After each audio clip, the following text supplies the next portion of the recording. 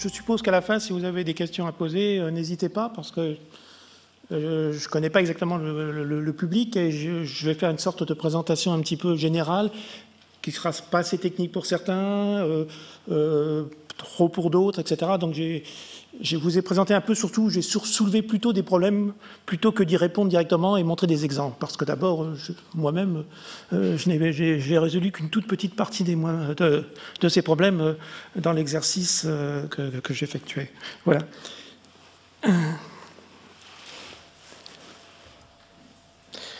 La première partie, en fait, de.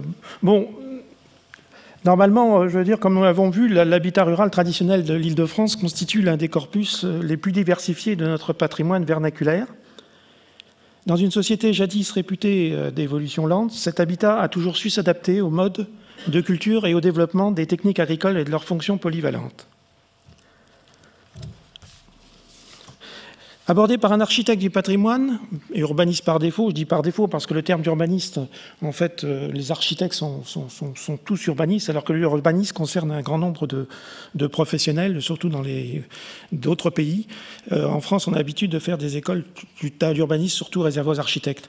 Alors qu'en fait, l'architecture et l'urbanisme local sont le reflet de pratiques pluridisciplinaires qui concernent une multitude d'acteurs. Vous avez dû le voir dans les différentes conférences, ça peut être des historiens, des géographes, des géologues, des économistes, des sociologues, et dans lequel je n'ai pas évidemment toutes les compétences requises, vous en doutez bien.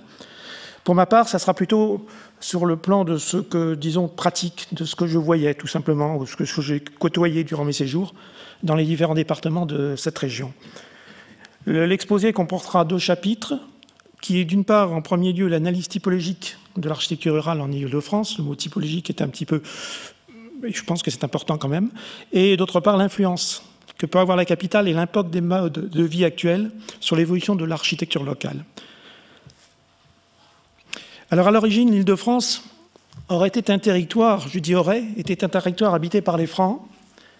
Euh, c'était une sorte d'île ou de presqu'île qui était délimitée par la Seine, par la Marne, par l'Oise et par l'Ourcq. Donc en fait, c'est une région relativement euh, faible en surface. Et c'est au XVe siècle que cette région s'est fortement développée divisée en provinces et elle comptait de multiples pays dont la superficie dépassait sensiblement à peu près les limites actuelles de ce qu'on appelle l'île de France actuelle. L'Assemblée constituante de 1789 créa les départements, c'est-à-dire la Seine-et-Marne et la Seine-et-Oise, que moi j'ai connu, que certains d'entre vous aussi d'un certain âge ont connu. En fait, il y avait deux départements. Et c'est qu'en 1964 qu'on a véritablement créé la région telle qu'on la connaît, l'unité régionale, avec les huit départements. D'une part Paris, la Seine, les Hauts-de-Seine, la Seine-Saint-Denis, le Val-de-Marne, tout ça pour la petite couronne, la Seine-et-Marne, les Yvelines, le Val d'Oise et l'Essonne pour la grande couronne. Alors ces évolutions successives, le problème sont souvent issues d'un découpage administratif et, et électoral et tiennent très peu compte de la diversité architecturale, on va le voir. On retrouve dans l'habitat rural de l'Île-de-France des caractères généraux propres à celle de l'architecture rurale en général. Ça, c'est également spécifique à l'ensemble de cette région. C'est déjà ces caractéristiques qu'on va étudier extrêmement rapidement. La première chose qui me paraît importante, c'est que la maison rurale, il faut le souligner, entretient des liens fondamentaux avec son environnement naturel, aussi bien au niveau des matériaux, des couleurs, qui sont toutes issues du terroir. Ça, c'est une photo d'une peinture de, Barbizon du 19e siècle, qui n'est pas si ancienne que ça, où les toits, en grande partie, étaient encore en chaume, et du bâti typologique parcellaire qu'il convient de privilégier. Donc déjà, quand on parle d'architectural, il faut bien penser que non seulement on a un problème d'intégration au niveau du bâti, mais aussi au niveau de l'environnement naturel, ce qu'on ne trouve pas en milieu urbain. Et ça, c'est extrêmement important. C'est un double problème qui ne va pas faciliter les choses. Sur le plan de l'évolution des bâtiments, on retrouve certaines caractéristiques générales propres à l'art. C'est pour ça que je vais passer rapidement à l'architecture rurale. Les plans en général s'établissent, et ça c'est un petit peu dans le modèle euh, général architectural, sur la base de travail élémentaire, ce qui correspondait un petit peu à la portée des solives, et qui était lors de 3,80 m, c'était du moins ce qu'on appelait euh, sous l'Ancien Régime euh, des ramures, qui correspondaient à cette, cette largeur, sans doute pour des questions de portée. Et toute l'architecture, si vous voulez, est basée sur ces, travées. On disait une maison à tant de ramures, à tant de travées, etc. Et se développe de cette manière. Et quelquefois, ben, évidemment, euh, dans les salles communes, ici, on, adoptait des, poutres maîtresses, pour libérer l'espace. Mais on était toujours dans la portée des 3,80 m. Alors évidemment, dans les bricoles, c'était valable pour les masures, les maisons et les petits corps de ferme. Maisons avec M et, tel qu'on l'appelait à l'époque. La vie s'organise évidemment autour de la salle commune, avec sa cheminée monumentale, sa pierre d'évier, là où les chambres comportent des lits en alcôve, offrant un confort rudimentaire. Et de part et d'autre, pour mieux se protéger encore du froid, et surtout dans certaines régions, peut-être moins en Ile-de-France, on trouve les étables pour la chaleur animale, le ciel ou la remise. Les pièces sont en règle générale orientées de préférence au sud, avec très peu d'ouverture en partie nord, toujours pour des raisons calorifiques. Et les combes servent uniquement au stockage des céréales et sont desservis le plus souvent par une lucarne unique. Les annexes se développent progressivement autour de la cour, en respectant des contraintes du site. On le voit quand à droite. Hein. Ça, c'est un plan un petit peu abstrait, euh, tel que je l'ai dessiné. Dans la réalité, euh, évidemment, c'est en fonction des contraintes du site. Et même dans les fermes euh, les plus modestes, oui, alors cette euh, disposition autour des cours est intéressante. On lui donne plusieurs significations. D'une part, il y a la question sécuritaire hein, qui a toujours joué. Il y avait beaucoup de pillages à l'époque des récoltes et tout euh, durant les, siècles. Il y a aussi la, question de surveillance euh, des animaux qui est évoquée parce qu'on voulait surveiller les animaux, surtout les, poules, etc. Et puis la troisième raison, c'est celle de évidemment la cour est pour qui facilite le mieux les déplacements d'un endroit à l'autre puisque les fermiers n'arrêtaient pas de se déplacer en fin de compte de traverser la cour pour un oui ou pour un non les évolutions des, dans, les, fermes les plus modestes, les bâtiments vont venir s'accoler donc naturellement les uns aux autres et vont épouser le relief du terrain, ce qui est important, ce qu'on ne voit pas dans les constructions neuves. Les différents matériaux de couverture, parce qu'il y a énormément de changements dans les matériaux de couverture, et ça c'est valable pour l'île de France et pour toute la France, euh, qui indiquent des périodes de construction.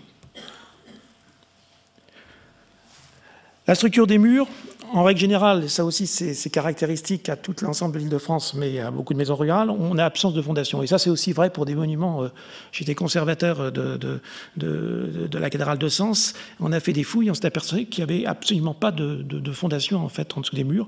Euh, pourquoi? Parce qu'en fait les anciens cherchaient le bon sol, et que le bon sol on l'enlève, on le trouve quand on, enlève la terre végétale, en fait ce qui est la terre, la partie noire de la terre, et que on n'ose pas les plus profonds. Et qu'actuellement, quand on restaure des édifices, euh, même des petites églises rurales, ben, les architectes du, patrimoine euh, ou, les architectes des monuments historiques euh, ce sont des édifices quand même de sol bouge qui s'affaissent un petit peu, sont obligés d'aller mettre des micropieux à 20 ou 30 mètres de profondeur, même pour des édifices aussi modestes. Je pense au prieuré Saint-Sauveur à, Melun, qui est une petite église qui fait 6 euh, mètres de large et, 12 mètres de, long, parce qu'on traverse la Seine, on traverse des couches. Dès qu'on va aller fouiller le sol, pour retrouver le bon sol, souvent on est obligé de le retrouver beaucoup plus bas, ce qui occasionne des coûts absolument extraordinaires en faisant des pieux, euh, des pieux racines.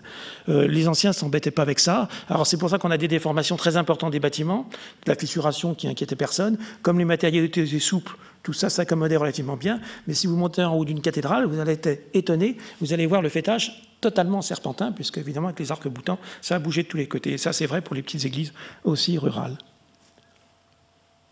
Donc les, murs étaient constitués de deux parements au milieu duquel on trouve des débris absolument épouvantables, souvent des nidras, des tuiles et de la terre. Et quand il n'y a plus de liaison entre ces deux parements, et c'est la qualité des murs et des appareillages problème de ça, bah, vous avez un peu d'eau qui ruisselle à l'intérieur et vous avez automatiquement un effondrement sous la pression des eaux.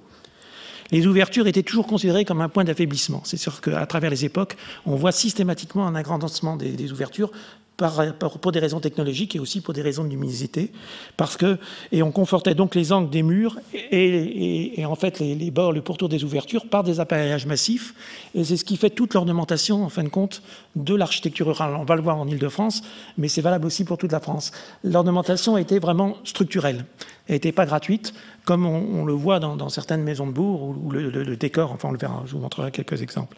Et puis une solide charpente, donc euh, très très lourde, tout ça a été surdimensionné bien sûr par rapport aux fondations, constitué de pannes, de chevrons posés perpendiculairement, de latives aussi disposées perpendiculairement, assurer la stabilité des murs tout en jouant un rôle important dans le contreventement. C'est une sorte de, boîte, euh, si on l'appelle de manière péjorative, qu'il fallait, euh, qui, résiste en même temps au vent et, et au temps. Alors l'historique des maisons rurales euh, en Ile-de-France, euh, On a quelques anciens plans, on n'a pas grand-chose parce qu'en fait, on a beaucoup de documents écrits et très peu de documents graphiques. Et quand on a des documents graphiques, j'ai vu pour ma propre maison, euh, j'avais fait des recherches à la Bibliothèque nationale et à la bibliothèque euh, donc, du département, et euh, je m'étais aperçu qu'en fin de compte, à chaque époque, ils avaient des représentations totalement fantaisistes. C'est-à-dire que, par exemple, à l'époque où on faisait des toits en croupe, je parle du milieu rural, la mode était de faire des toits en croupe au XVIIIe siècle. Eh bien, je me suis aperçu que la maison avait des toits en croupe. Je me suis dit, bah, c'est pas possible, cette maison n'a jamais eu de toit en croupe. Et quand j'ai vu le village à côté, qui était le petit village de Célie où j'habitais, toutes les maisons étaient représentées avec un toit en croupe. Et ça, cette espèce d'interprétation dans les plans, il faut s'en méfier énormément, euh, même dans les grands édifices. D'une part parce que entre les plans, les gens ne faisaient pas beaucoup de plans. Dans les grands édifices, on voit qu'ils changeaient souvent, que les gens arrivaient, il y avait des guerres, des épidémies, il y avait des arrêts de travaux, et puis euh, les gens disaient bah, faites-moi ça, faites-moi ça. Et ça, c'est vrai aussi dans l'architecture rurale, et c'est très important, c'est qu'on essaye de tout expliquer, et on s'aperçoit, je l'ai eu par expérience personnelle dans les maisons que j'ai restaurées, qu'on trouve des choses qu'on ne comprend pas tout de suite, qu'on essaie d'expliquer par notre logique avec le recul. Et en fin de compte, il faut se mettre dedans pour voir que simplement, bon, il y avait besoin d'une ouverture, on n'avait pas de permis de construire, on faisait l'ouverture, on avait besoin de la reboucher, on la rebouchait, la main d'œuvre coûtait rien, ça il faut voir ça. Euh, on avait besoin d'un bout de toiture à un endroit, on faisait un petit bout de toiture, on trouvait que c'était pas terrible, on le refaisait ailleurs. Il y avait un changement de destination au niveau des stockages, des récoltes, etc. Donc je ne crois pas qu'on peut. L'anecdotique joue un, un, rôle absolument euh, très important dans, dans l'analyse de l'architecture rurale. Euh, c'est pas du tout une analyse intellectuelle, c'est avant tout quelque chose qui était fait pour servir, pour, euh, en fait, euh, euh, comme outil. C'est un véritable outil et qui, était beau à cause de ça, en fin de compte aussi, en grande partie, qui devait son esthétique à ça, son utilité rationnelle, parce qu'il n'y avait rien de gratuit et il n'y avait rien de plus. C'est ce qui en fait la caractéristique. Ce qui ne veut pas dire que l'architecture mentale n'est pas magnifique, mais il y a un recul et une culture qui est totalement différente de celle qu'il faut pour approcher l'architecture rurale.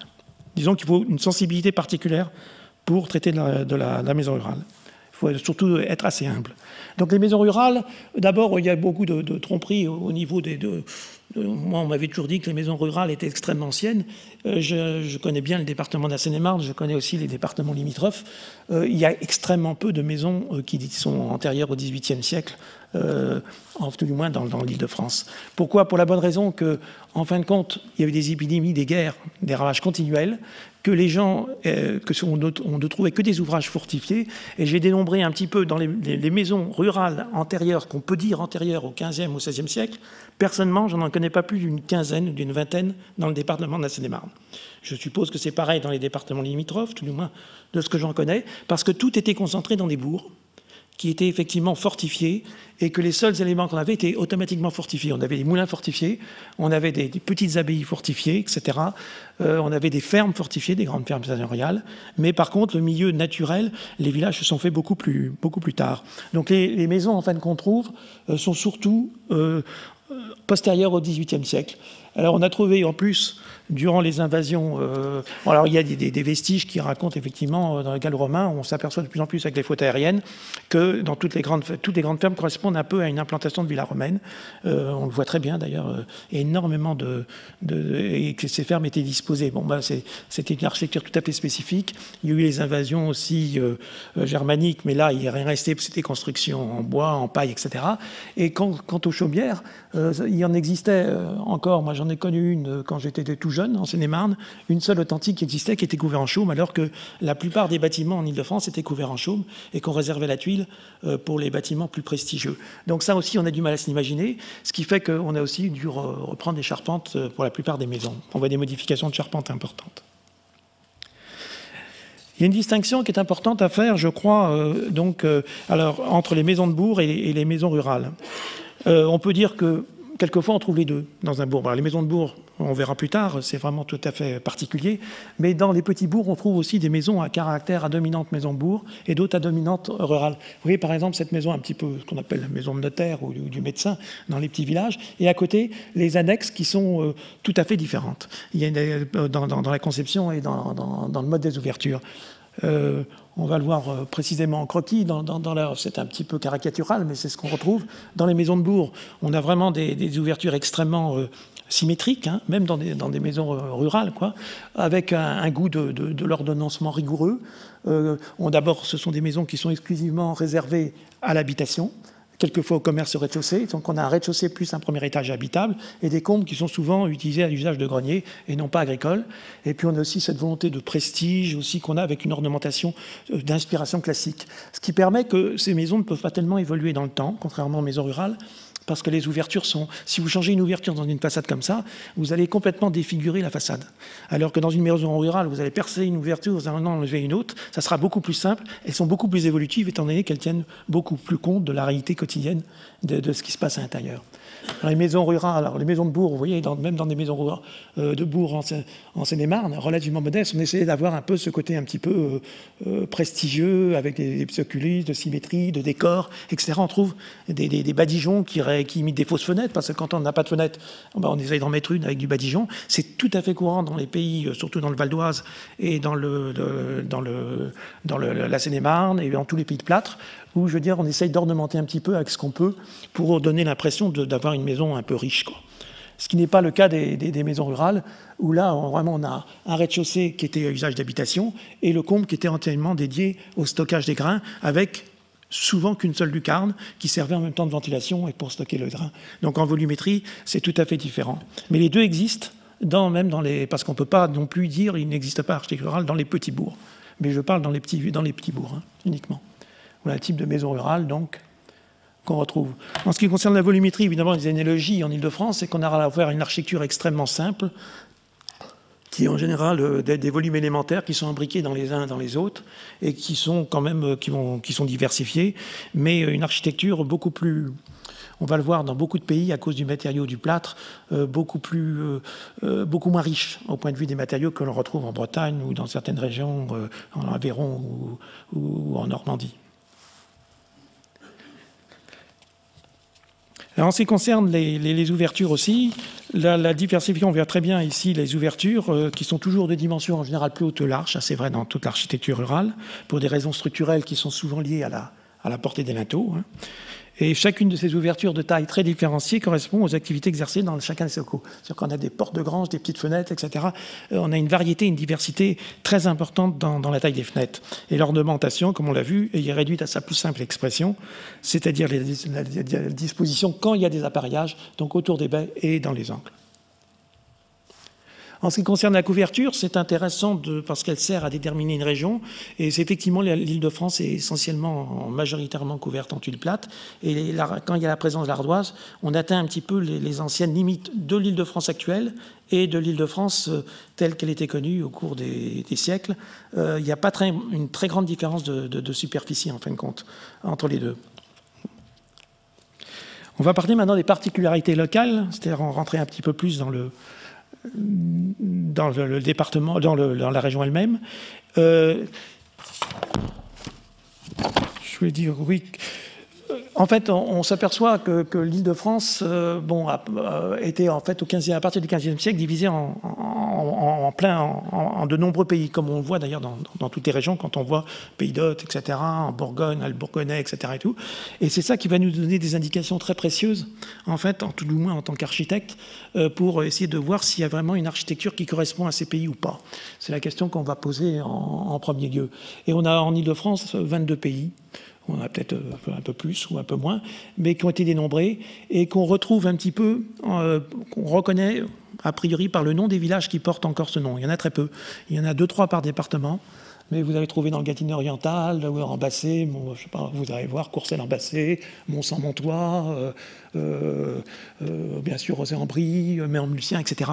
Et ça, c'est intéressant de regarder une carte. Et souvent, malheureusement, les villages qui existent étaient souvent à l'entrée de la région ou à la sortie de la région. La queue en Yvelines, par exemple, dans les Yvelines. Et par contre, ça va éclairer énormément sur, sur l'existence de ces anciens pays.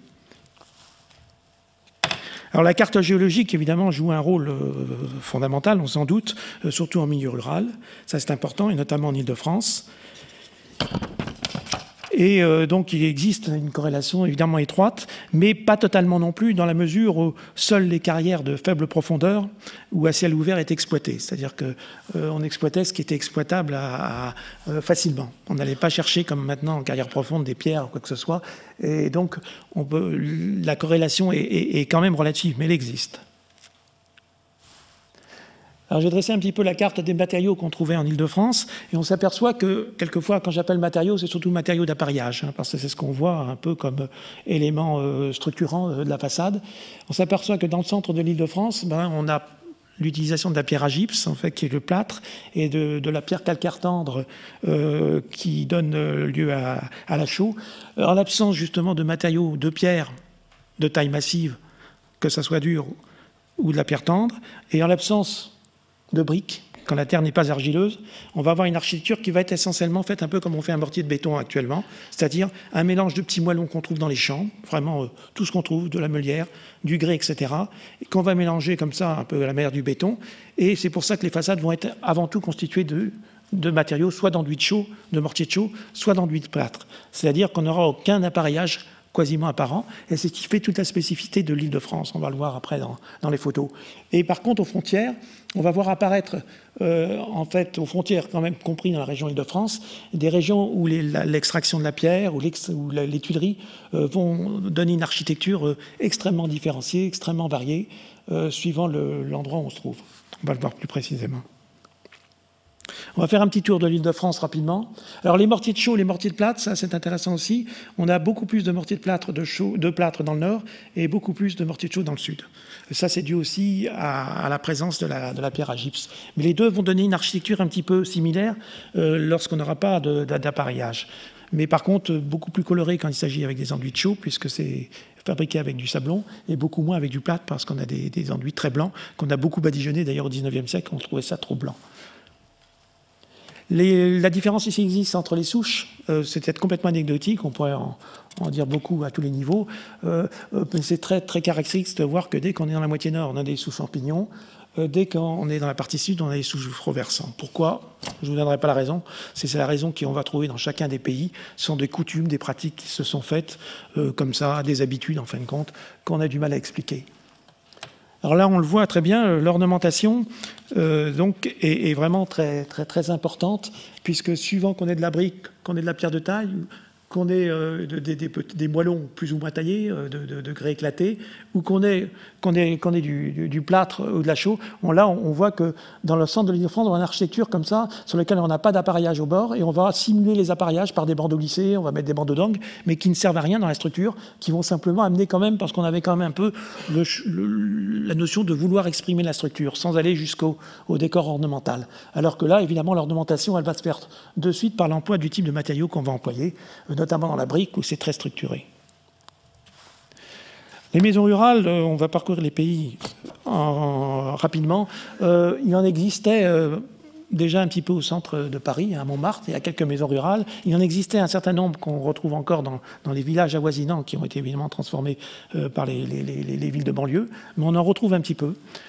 Et donc on va parcourir maintenant un petit peu l'île de France, faire un tour. En premier lieu avec les, pays de, France, qui sont un peu à l'origine de, l'île de France. Alors, je vais, je vais, je vais dire rapidement un petit peu sur chaque pays, parce que ça serait trop long à énoncer.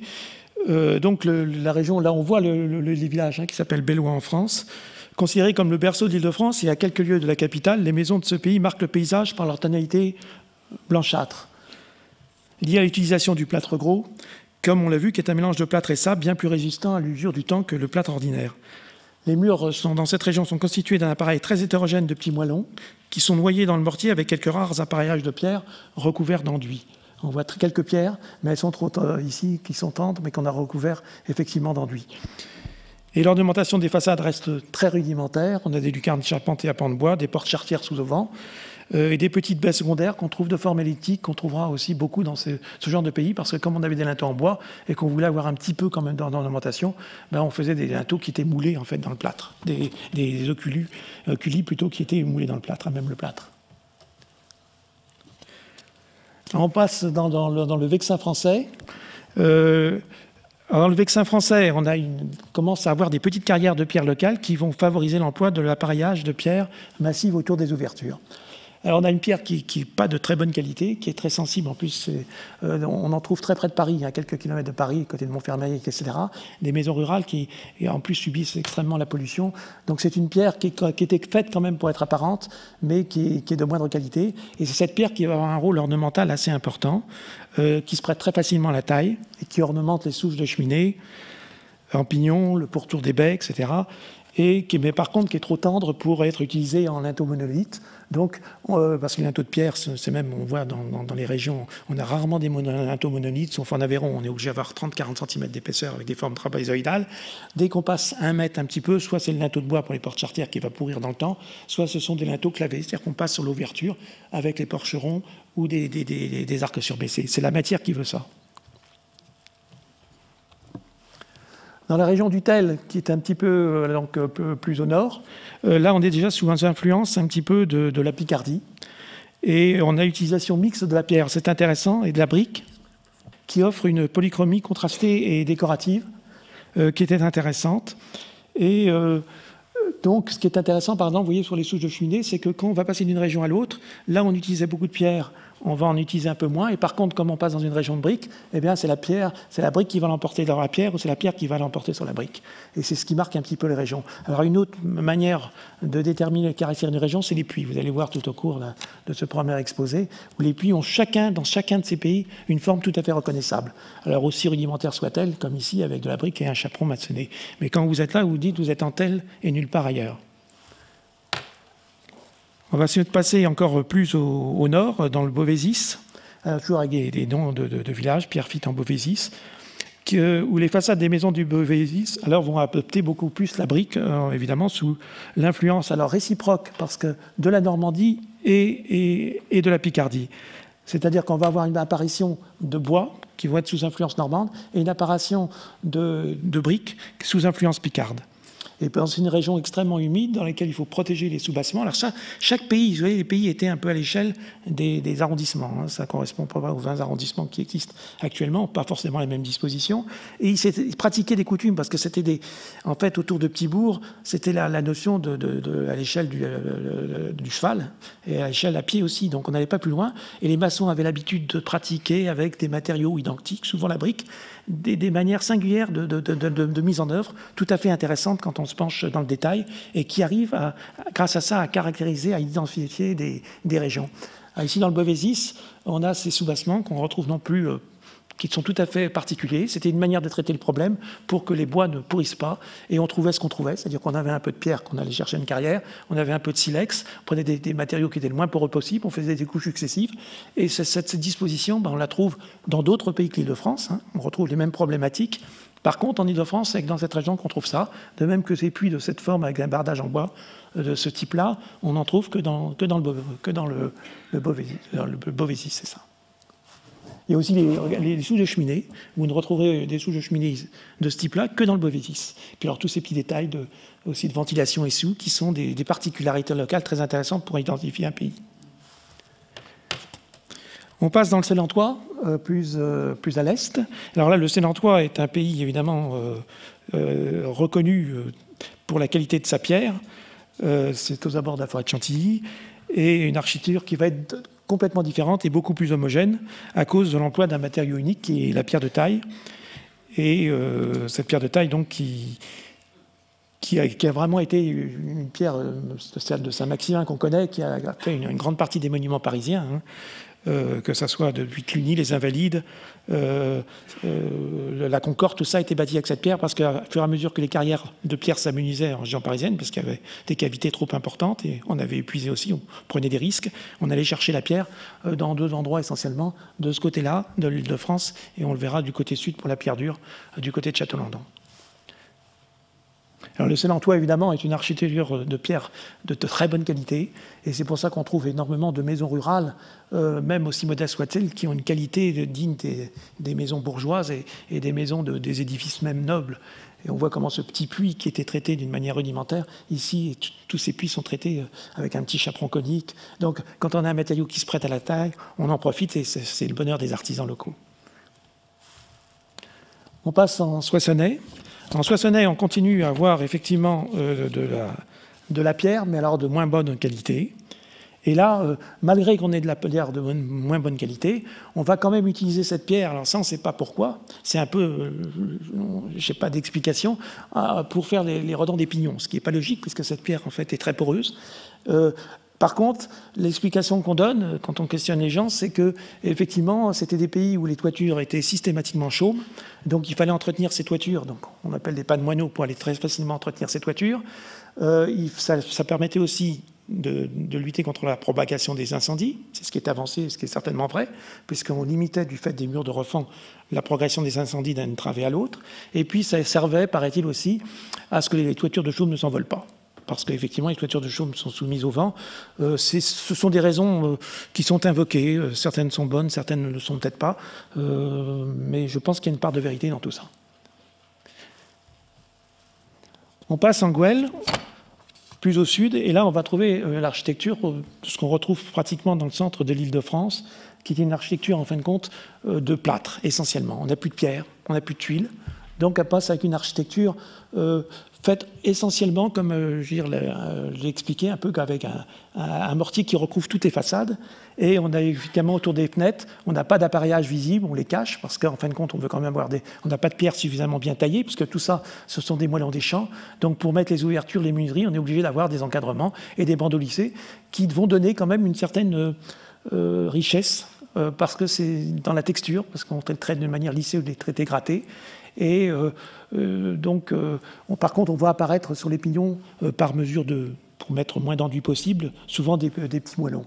Par contre, comme on se rattrape sur les corniches, parce que comme ce sont des matériaux très, très, très hétérogènes, hein, c'est une espèce de mortier très fragile, le plâtre, on va avoir des murs avec un fruit très très important, beaucoup plus large en bas qu'en haut, et on va être obligé de protéger ce plâtre, qui est un matériau extrêmement fragile, bien que ce soit du plâtre gros, par des corniches qu'on va retrouver dans une grande partie de l'île de France, qui vont être faites en fait avec des moules, et qui sont des, curieusement des, dans l'habitat rural, dans les maisons les plus rurales, des corniches qui s'inspirent des profils classiques, euh, en fait, de, l'architecture classique. Parce qu'on traitait ça avec des moules, on, décoffrait les moules, c'était pas cher, et euh, ça donnait une certaine... Il y avait quand même un peu ce goût de d'ornementation, disons, minimum, qui là est avant tout fonctionnel, puisqu'il s'agit, euh, on ne peut pas faire ça avec une corniche en pierre ou en brique, d'éloigner le plus possible l'eau de la façade par éléments successifs. Dans leur soin, on va retrouver à peu près le même type d'architecture. Euh, vous voyez, avec les pignons, comme j'ai parlé, toujours une architecture qui, en fin de compte, est extrêmement particulière à l'île de France, qu'on retrouve nulle part ailleurs, tout du moins au centre d'une partie de l'île de France, qu'on retrouvera pas en France, parce que euh, petit peu dans le sud, dans le Luberon, quelquefois dans des régions où la pierre, euh, dans des parties du Luberon où la pierre est absente, l'emploi d'enduits, de, de, de chaux qui vont couvrir complètement les façades et qui donnent un aspect sculptural très très très très intéressant en fait parce qu'on a affaire qu'à des volumes, qu'à de la volumétrie. Mais par contre très fragile parce que quand vous faites une mauvaise ouverture euh, ou une faute de, de, restauration, ça se sent tout de suite puisqu'en fait c'est un jeu simplement de plein et de vide, de rapport entre les pleins et vides. Et si vous faites une ouverture mal placée, on le verra tout à l'heure, euh, c'est une catastrophe. Et en plus c'est une, une, architecture extrêmement fragile sur le plan du matériau. Tout le monde dit il faut refaire du plâtre, refaire du plâtre. C'est extrêmement difficile à refaire. Il y a extrêmement peu de maçons qui le font. On emploie de plus en plus du plâtre, de, la chaux à la place du plâtre. Euh, qui permet d'avoir un peu le même effet, qui est évidemment moins authentique, parce que le, plâtre à l'extérieur vieillit extrêmement mal. Hein. On le voit ici, c'est un ravalement. D'ailleurs, cette maison a fait l'objet d'un prix concours euh, Maison Paysanne de France. Euh, le ravalement, est, et, on a vu même que sur le ravalement qui avait été fait, courageusement par son propriétaire au plâtre, il y avait déjà des taches de, moisissure, ce qui n'est pas mal, hein, ce qui fait partie de l'architecture rurale, mais beaucoup de gens n'acceptent pas dans leur maison, dans leur rénovation, ils veulent tous malheureusement des choses impeccables, ce qui n'est pas tellement forcément dans l'esprit de l'architecture rurale. On redescend sur le Multien, même type d'architecture. Euh, vous voyez, avec toujours euh, le plâtre qui envahit entièrement les façades. Alors, comment reconnaître ces régions les unes des autres? D'une part, parce que, par, le nom, mais surtout par par aussi la géographie, parce que là, on est dans une région où, les plaines sont très importantes. Et qu'est-ce qu'on voit? L'apparition de, cadrans solaires badigeonnés dans pratiquement euh, une maison sur quatre, sur les murs, et de girouettes, euh, énormément de girouettes qui ont été faites pour marquer les, métiers locaux. Donc, euh, des régions qui sont caractérisées par des, petits éléments du patrimoine qui convient de, de, protéger et de remarquer, et qui caractérisent une région. On redescend sur la, brie française. Alors la brie française, c'est une région relativement importante qui occupe une grande partie de l'île de est de l'île de France et qui aussi a ses caractéristiques un peu identiques à celles de l'île de France. C'est-à-dire du plâtre, une architecture de plâtre, euh, comme on le voit ici. Euh, par contre, avec euh, la, a été considérée comme le, le grenier, le grenier de l'Île-de-France, on l'appelait, parce qu'on a des plaines les plus riches avec celle de la Beauce. Donc on a amené dans cette région hein, quelque chose de tout à fait particulier, c'est un soin aux lucarnes, parce qu'effectivement les greniers euh, qui conservaient des récoltes étaient traités vraiment par des charpentiers, donc euh, avec un soin tout à fait particulier. On a des ouvrages charpentés qu'on retrouve nulle part ailleurs dans l'Île-de-France. Donc le soin est apporté essentiellement aux lucarnes et aussi aux puits, bien que le recouvrement ne soit pas en pierre et soit très fragile. Euh, et puis aussi sur les porches d'entrée, quelquefois, on retrouve toujours ces petits oculis comme ça, avec des ferronneries euh, souvent assez intéressantes. Euh, la brie champenoise, qui est un petit peu plus au sud, alors tout ça est pas très loin de Paris, hein, on est toujours dans un rayon de, 40-50 km, 50 km, 60 maximum de Paris. Une différence entre la brie champenoise et la brie française, euh, pour des questions culturelles d'abord, euh, d'abord la rivalité qu'il y avait entre les comtés de Champagne et les comtés de, de, Brie, et puis aussi une, une géographie déjà un peu différente. Et on va retrouver donc une architecture un petit peu différenciée, avec l'apparition du grès, et euh, de la brique. Alors là, euh, en fait, on, utilisait le, grès et la brique conjointement. Et dans toutes ces régions de transition, comme on l'a vu tout à l'heure, là, le grès, quand il y en a beaucoup, on va l'utiliser pour les chaînages. Et la brique, quand il y en a moins, il y a moins de tuileries, on va l'utiliser pour l'ornementation des ouvertures, enfin pour, l'ornementation, pour euh, structurer le pourtour des, ouvertures. Et ça va être l'inverse dès qu'on va aller dans la région à côté. On passe en Montois. Alors Montois, justement, là où il y a une, des terres argileuses, qui est très riche en, briqueterie et qui, sont les plus belles briques, on peut dire, de l'île de France. Euh, on retrouve une architecture de briques, comme on retrouverait un petit peu dans le nord de la France, mais avec des caractéristiques tout à fait particulières. Parce que là aussi, on est pas loin de la Champagne, donc on commence à avoir des colombages, comme on en avait en Normandie, dans les annexes. On a aussi une architecture euh, autour des façades qui est d'inspiration très classique parce que la plupart des maisons dans cette région, les villages, ont été fondés au XVIIIe et au XIXe siècle. Vous voyez à quel point, en fait, le traitement de ces, lucarnes relève un petit peu de, l'architecture, euh, disons, euh, presque monumentale. Et aussi, ça, c'est une bricole. Hein. c'est ce qu'on appelle des maisons d'ouvriers, où il n'y avait que deux travées, vraiment la plus petite euh, maison qu'on puisse trouver. Et des maisons euh, d'ouvriers agricoles, et on voyait à quel point l'ordonnancement et le, savoir-faire en fait était, important dans la mise en œuvre de, la, ce matériau avec les corniches. Dans le détail des corniches, on le voit aussi. On passe un peu plus bas en Bassé, qui est, en fait, qui est traversé par la baie de la Seine, et là on trouve une architecture où il n'y a ni pierre, ni briques, ni tuiles, et on va prendre tout ce qu'on trouve. Bon, il faut dire qu'il y a pas mal de matériaux qui ont été un petit peu importés grâce à la Seine, mais là on va trouver une architecture qu'on retrouve nulle part non plus en Ile-de-France, avec une architecture de damier, vous voyez, euh, euh, de très, très décorative, mais pas volontairement décorative, c'est parce que tous ces matériaux viennent liaisonner les murs. Et on trouve des astuces, chacun des artisans locaux avait trouvé sa propre astuce euh, pour trouver, alors vous voyez par exemple, la pierre est, est utilisée avec la brique en rang alterné, tout ça pour solidifier, pour faire des chaînages. que le problème, c'est toujours de chaîner les maisons pour pas que ça s'écarte. Vous voyez qu'on a un peu de grès ici, par exemple en bas. Euh, après, on a un peu de pierre de taille parce que le grès euh, est moins sensible à l'humidité, bien qu'il le soit avec la pierre de taille. Donc tout ça, c'est un peu des, des choses qui n'ont pas été pensées, qui ont été vues sur le terrain et avec les matériaux qu'on avait, mais qui donnent une, architecture tout à fait, tout à fait particulière qu'on retrouvera nulle part ailleurs en Ile-de-France. On redescend dans le pays de Bière, alors là on est près du massif de forêt de Fontainebleau, de, grès, on va évidemment avoir une prédominance du grès. Mais alors le grès, qui est une de la pierre la plus difficile à tailler, enfin du moins ce que disait tailleur de pierre, et euh, j'avais un petit tailleur de pierre qui chez moi a essayé d'en tailler, euh, qui était un des derniers, parce qu'il n'existe plus qu'une seule carrière de grès en Ile-de-France, alors qu'il y avait d'innombrables carrières de grès. C'est une pierre extrêmement difficile parce qu'il n'y a pas de lit, contrairement au granit on arrive aussi à, tailler plus facilement. Et dans les châteaux, les grandes demeures classiques, que sont évidemment le château de Fontainebleau, le château de Vaux-le-Vicomte, etc., euh, tous les, châteaux de, de, Courance, etc., on a la, en fait, le grès est parfaitement taillé. je ne sais pas comment ils ont fait, on a même des sculptures à Fontainebleau Renaissance qui sont absolument extraordinaires, mais je vous assure que vous questionnez un tailleur de pierre actuel, personne ne sera capable de, de tailler cette grès. Si bien que dans l'architecture rurale, on n'en trouve jamais sous forme de forme de, grès taillé, on trouve simplement ce qu'on appelle des boutisses de grès éclaté, qui sont des, en fait, des, des, pierres qui ont à peu près 80 cm de long, euh, qui font 20 par 20, et qu'on va alterner tout autour des, des, des, baies. Et ça va donner une sorte d'appareillage, mais comme c'est pas non plus suffisamment bien formé, ben on va mettre aussi souvent des bandeaux lissés pour cacher en fait ces appareillages. Alors beaucoup de gens le déplorent. par contre, quand on a à faire des petits ouvrages comme les puits aussi, qui sont tout à fait caractéristiques sur plan carré, parce que les puits sur plan carré, on en retrouve aussi apparemment qu'en bière, en Ile-de-France, on voit là aussi les caractéristiques là, le grès apparaît vraiment souvent que euh, comme pierre, employé comme pierre relativement de, taille bien, bien, agencée. On a aussi une caractéristique tout à fait particulière de ce pays, c'est les, auvents sous porche. Alors on trouve à Fleury-en-Bière, Célie-en-Bière, etc. Tous ces noms, Saint-Martin-en-Bière, qui portent toujours le nom de, de l'ancien pays, qui était celui en fait de la forêt de Fontainebleau, puisque Biera vient, en fait, on appelait Biera une bonne partie de la forêt de Fontainebleau à l'origine. On passe dans le Gâtinais oriental, plus au sud. Alors là, on retrouve une architecture de briques à peu près conforme à celle de Montois. C'est pour ça euh, tout à fait particulier, qui, en fait, mais c'est, disons que le, le, oriental est très très proche de celui du Montois.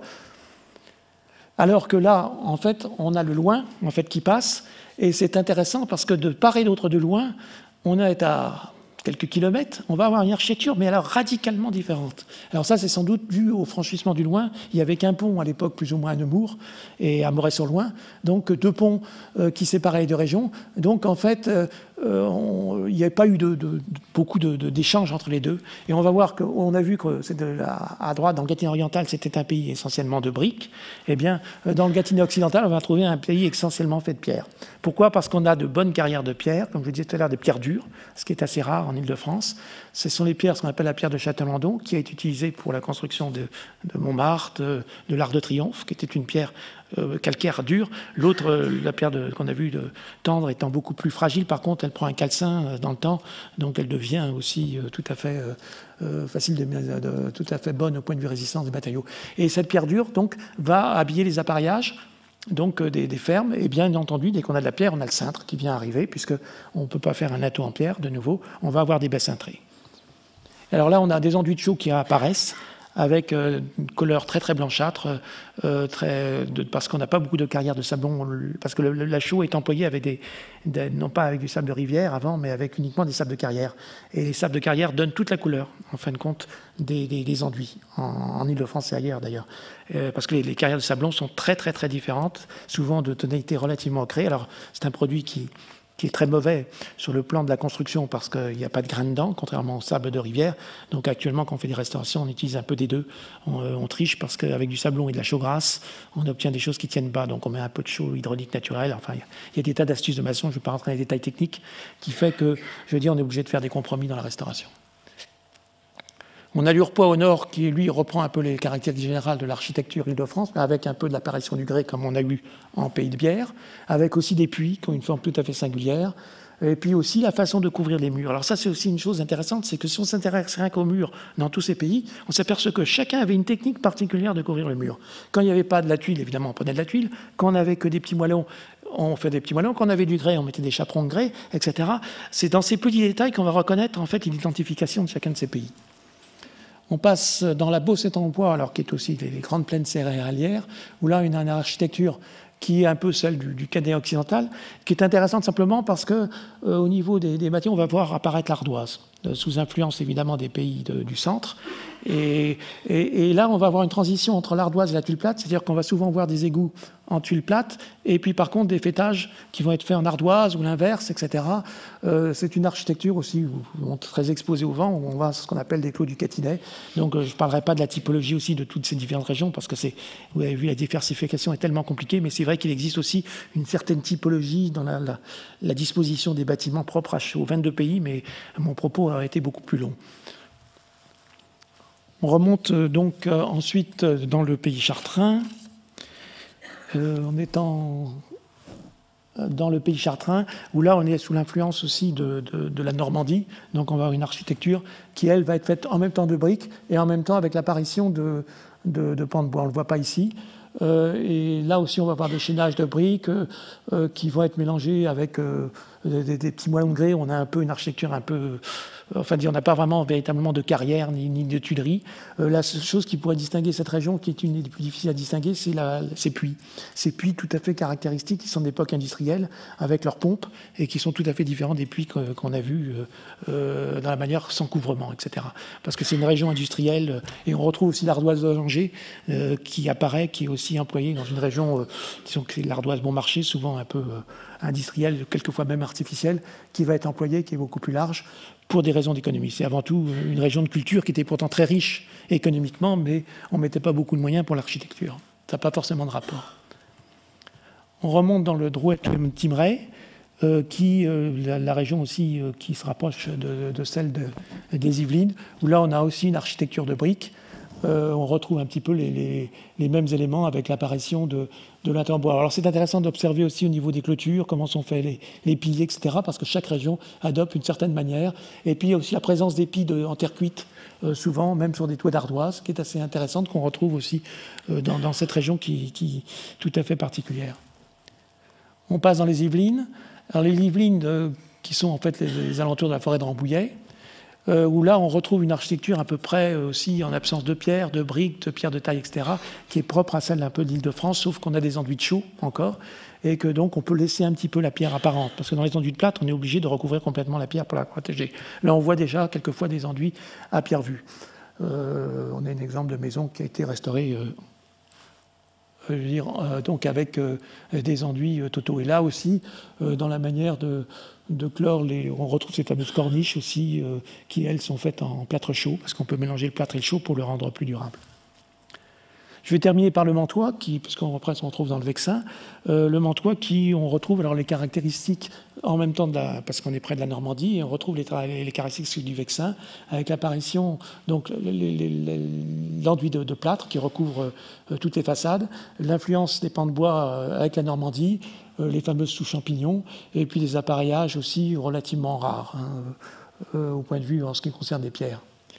Voilà, donc on a fait un petit tour de, comme ça d'analyse. Alors évidemment, euh, c'est vu par un architecte. je n'ai pas cherché des explications à tout parce qu'il n'y en a pas forcément. Mais c'est intéressant de voir à quel point la diversité, et ça c'est valable pour toutes les régions de France, on parle de Bourgogne, on parle de régions euh, même de, Normandie, mais en Normandie, on a des régions, même en Bretagne, on a du chaume à certains endroits, en Vendée, pays vendéens, etc., totalement différents. Et quand on connaît bien sa région, on s'aperçoit que la région est, une chose totalement artificielle.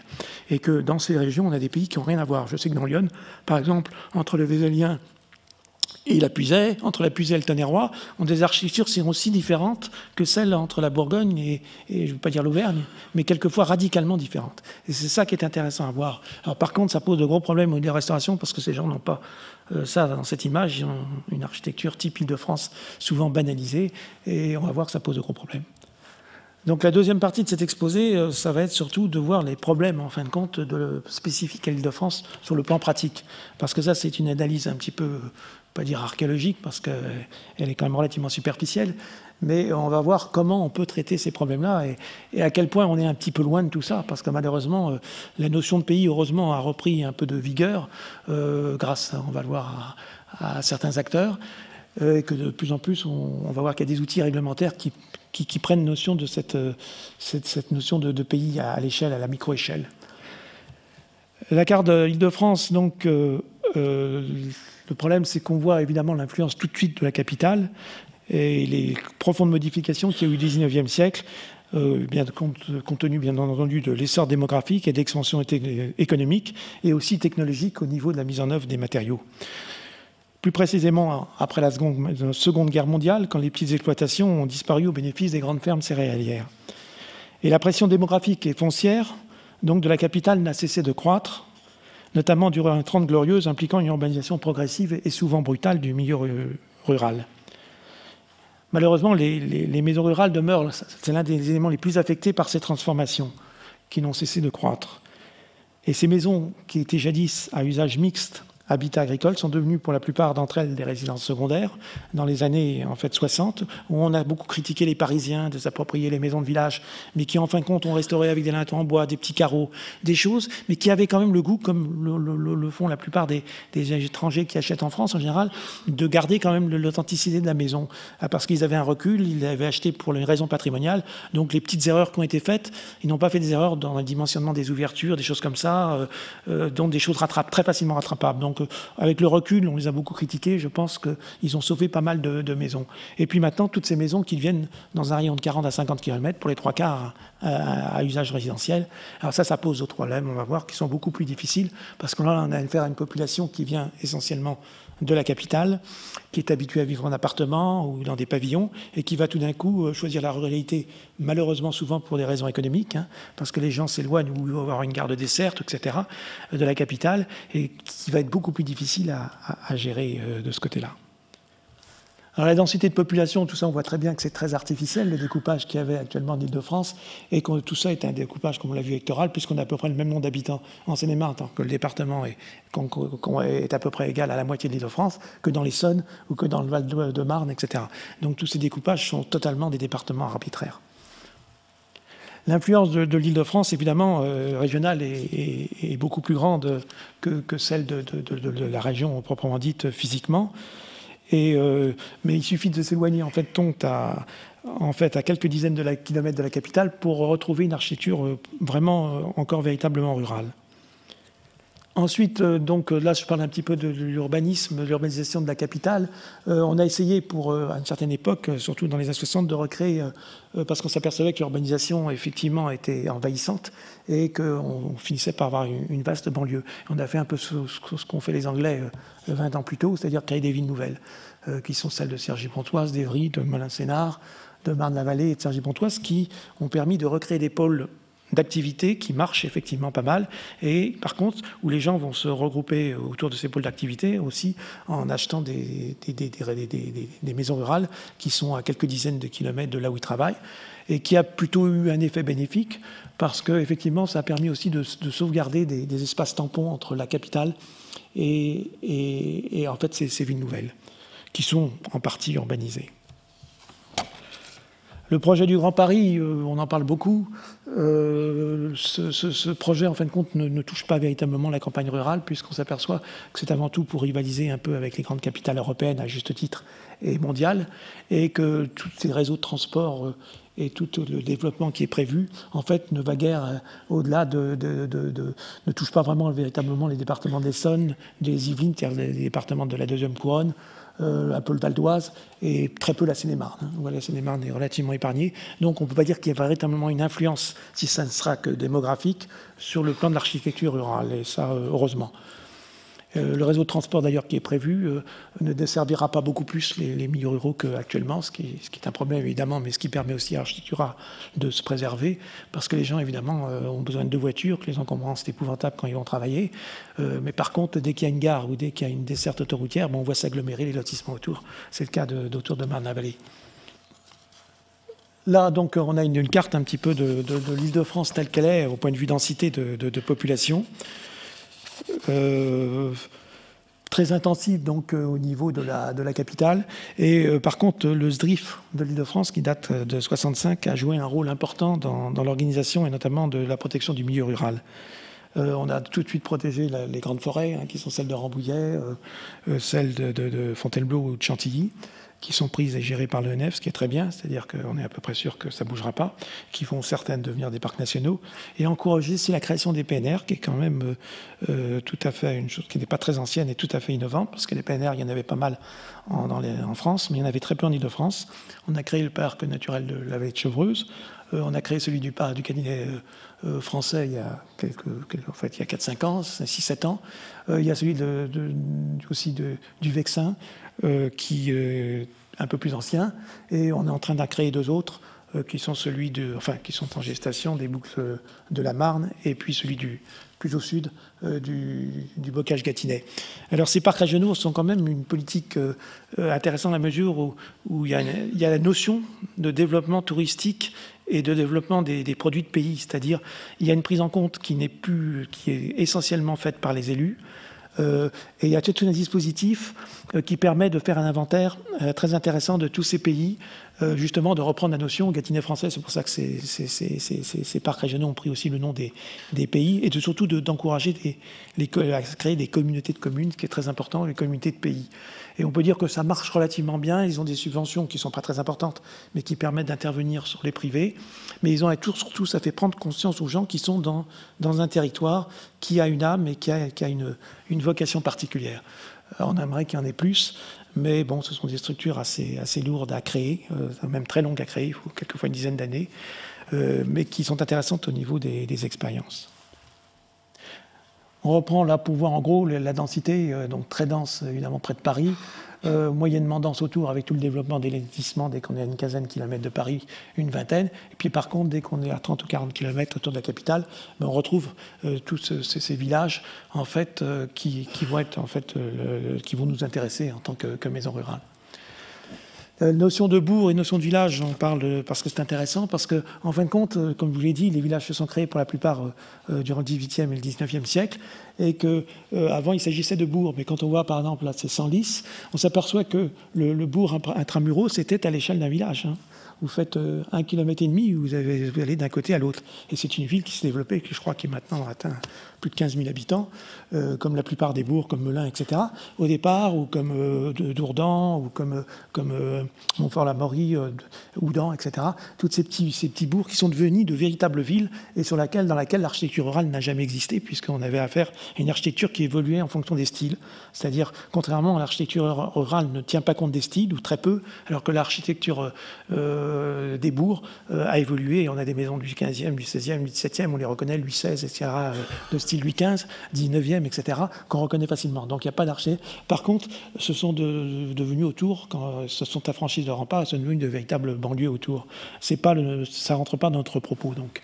Ensuite, on a les, les bourgs qui sont quand même d'aspect rural. Euh, ça ici, c'est un petit village Beaumont du Catinec qui est bâti sur la même configuration, qui était pas bien moins grand que Senlis, en fait, quand on regarde. C'était des villages de, de, de 1500, 2000 habitants actuellement, et qui étaient aussi entourés de remparts, et qui sont affranchis de remparts, parce que ce qu'il y avait dans ces villages-là, c'est qu'ils étaient en contact direct avec la nature. On n'avait pas de banlieue. Il y avait une rupture totale entre l'urbain et le rural. Et là, ces villages qui sont peu développés, parce qu'ils étaient situés dans des régions géographiques euh, beaucoup moins bien desservies, euh, sont devenus des petits bourgs, mais qui ont gardé leur aspect rural avec l'église, au centre, leur petit château, euh, l'église au pouvoir symbolique, le château le pouvoir monarchique, la halle le pouvoir marchand, etc. Leur structure urbaine, mais avec des maisons de bourg, euh, et aussi des maisons rurales qui sont développées autour, puisqu'en fait, on n'a pas véritablement eu de banlieusardisation, on a simplement eu des maisons, on passe du, minéral au, végétal de manière un peu progressive, puisqu'on n'a plus la notion de rempart. Donc on peut parler de bourgs ruraux. Et puis évidemment, tous ces villages du 18e et 19e siècle, euh, voire 17e, qui se sont développés complètement et créés librement autour de leur église, et surtout en contrainte, ce sont les contraintes du relief, c'est-à-dire dans les vallées, sur les monts, le long des rivières le plus souvent. Et on voit très bien que l'urbanisation libre, euh, je veux dire, c'est avant tout autour des voies de circulation. Et là, on a véritablement ce qu'on appelle une architecture rurale, c'est-à-dire une architecture qui passe du minéral au végétal, et euh, donc qui est urbaine un tout petit peu. Enfin, je on ne peut pas parler d'urbanité au centre, mais enfin un petit peu, disons, euh, collective. Et ensuite, on passe à l'individualisation peu à peu, et c'est très intéressant, et où chaque petite ferme avant tout du moins, chaque petite maison avait son petit potager, ses petits champs, etc. Et donc il y a une organisation spatiale qui est, difficile aussi à respecter parce que, euh, en fait, la périphérie, il faut qu'elle puisse respirer autour de la périphérie pour conserver euh, toute cette relation qu'il y a entre la nature et, la maison rurale.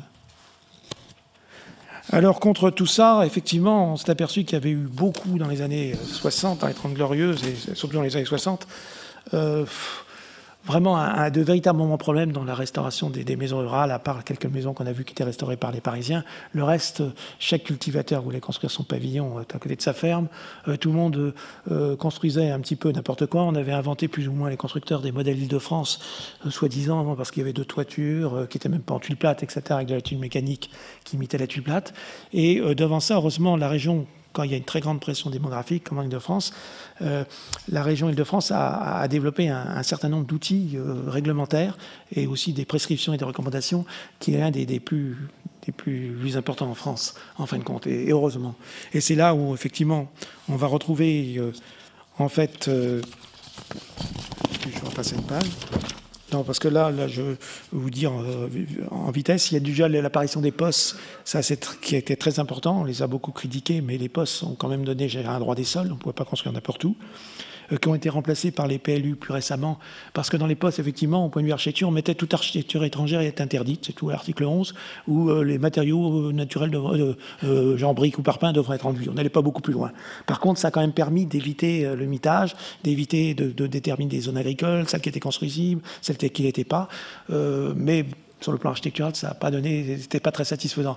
Les PLU qui, existent depuis, euh, euh, enfin, une dizaine d'années, etc., et qui vont remplacer les postes progressivement, comportent un volet architectural et paysager qui est beaucoup plus intéressant. Alors, ça dépend évidemment de l'architecte qui va intervenir à ce niveau-là, l'architecte urbaniste, mais on va pouvoir mettre une série de recommandations, aussi bien au niveau des clôtures, on va pouvoir faire un inventaire du, du patrimoine. Il y a aussi les périmètres de Saint-Laurent. Les postes, il faut savoir que toutes les communes de, l'Île-de-France ont un poste. Alors que moi, j'étais dans Lyon, il y avait une commune sur dix qui avait un plan d'occupation des sols. On avait des cartes communales et on construisait un peu où on voulait. Et c'était extrêmement difficile de gérer le territoire parce que quelqu'un qui voulait construire à 30, 50 mètres ou à 200 mètres du village, il le rendait constructible quand il avait tant d'hectares, comme on faisait avant. Si on avait 5 hectares, on pouvait construire n'importe où. Euh, si on était cultivateur, on pouvait construire n'importe où. Donc, euh, il y a eu un progrès. Euh, c'est-à-dire que l'Île-de-France est, je crois, un des seuls seule région en France à avoir systématiquement des, postes et bientôt des PLU dans toutes ces communes. Il y a aussi les périmètres de 500 mètres euh, des, des, architectes des bâtiments des monuments historiques autour de chaque monument qui ont beaucoup été décriés parce qu'effectivement, on faisait un périmètre de 500 mètres, c'est une loi qui, date de 43. On fait systématiquement 500 mètres autour, que ce soit un menhir, que ce soit une église prestigieuse, que ce soit un château. C'était 500 mètres autour. Donc on a appelé ça un petit peu le périmètre bête et méchant. Euh, on s'en est aperçu, mais enfin, ça a permis de sauver quand même pas mal de villages euh, au niveau des 500 mètres. Malheureusement, les 500 mètres, quand l'église est bien placée, c'était parfait parce que c'est souvent l'église qui était protégée. Mais dès qu'on était au-delà des 500 mètres, on n'avait plus rien. Et à 510 mètres, les gens euh, faisaient un peu ce qu'ils voulaient. Et quand on rentrait dans un village, c'est important quand on rentrait dans un village, vous aviez tout d'un coup des maisons avec des barrières horribles. Puis quand vous étiez dans les 500 mètres, donc il y avait quelque chose d'artificiel qui malheureusement euh, devrait évoluer puisque maintenant on peut faire des périmètres modifiés, mais qui ne sont pas très utilisés par les architectes bâtiments de France parce qu'ils sont débordés par le nombre de permis.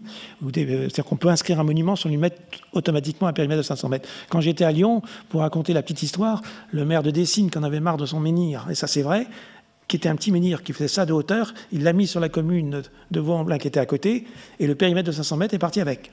Et j'ai connu à Lyon, dans les marchands de matériaux, ça c'est une histoire vraie, euh, il y avait beaucoup de récupération, on peut moins le faire maintenant, d'éléments inscrits au titre des monuments historiques, des portails, etc., qui avaient été, suite à la destruction d'immeubles, etc., et les gens avaient racheté des portails pour créer leur propre périmètre de 500 mètres. Bon, c'est un peu abusif, mais pour vous dire que, que ce périmètre de 500 mètres, c'est un outil qui a servi énormément, mais on devrait évoluer maintenant, et on évolue vers ce qu'on appelle les ZPPUP, c'est-à-dire des zones qui vont prendre en compte non pas simplement le, village, mais son environnement autour.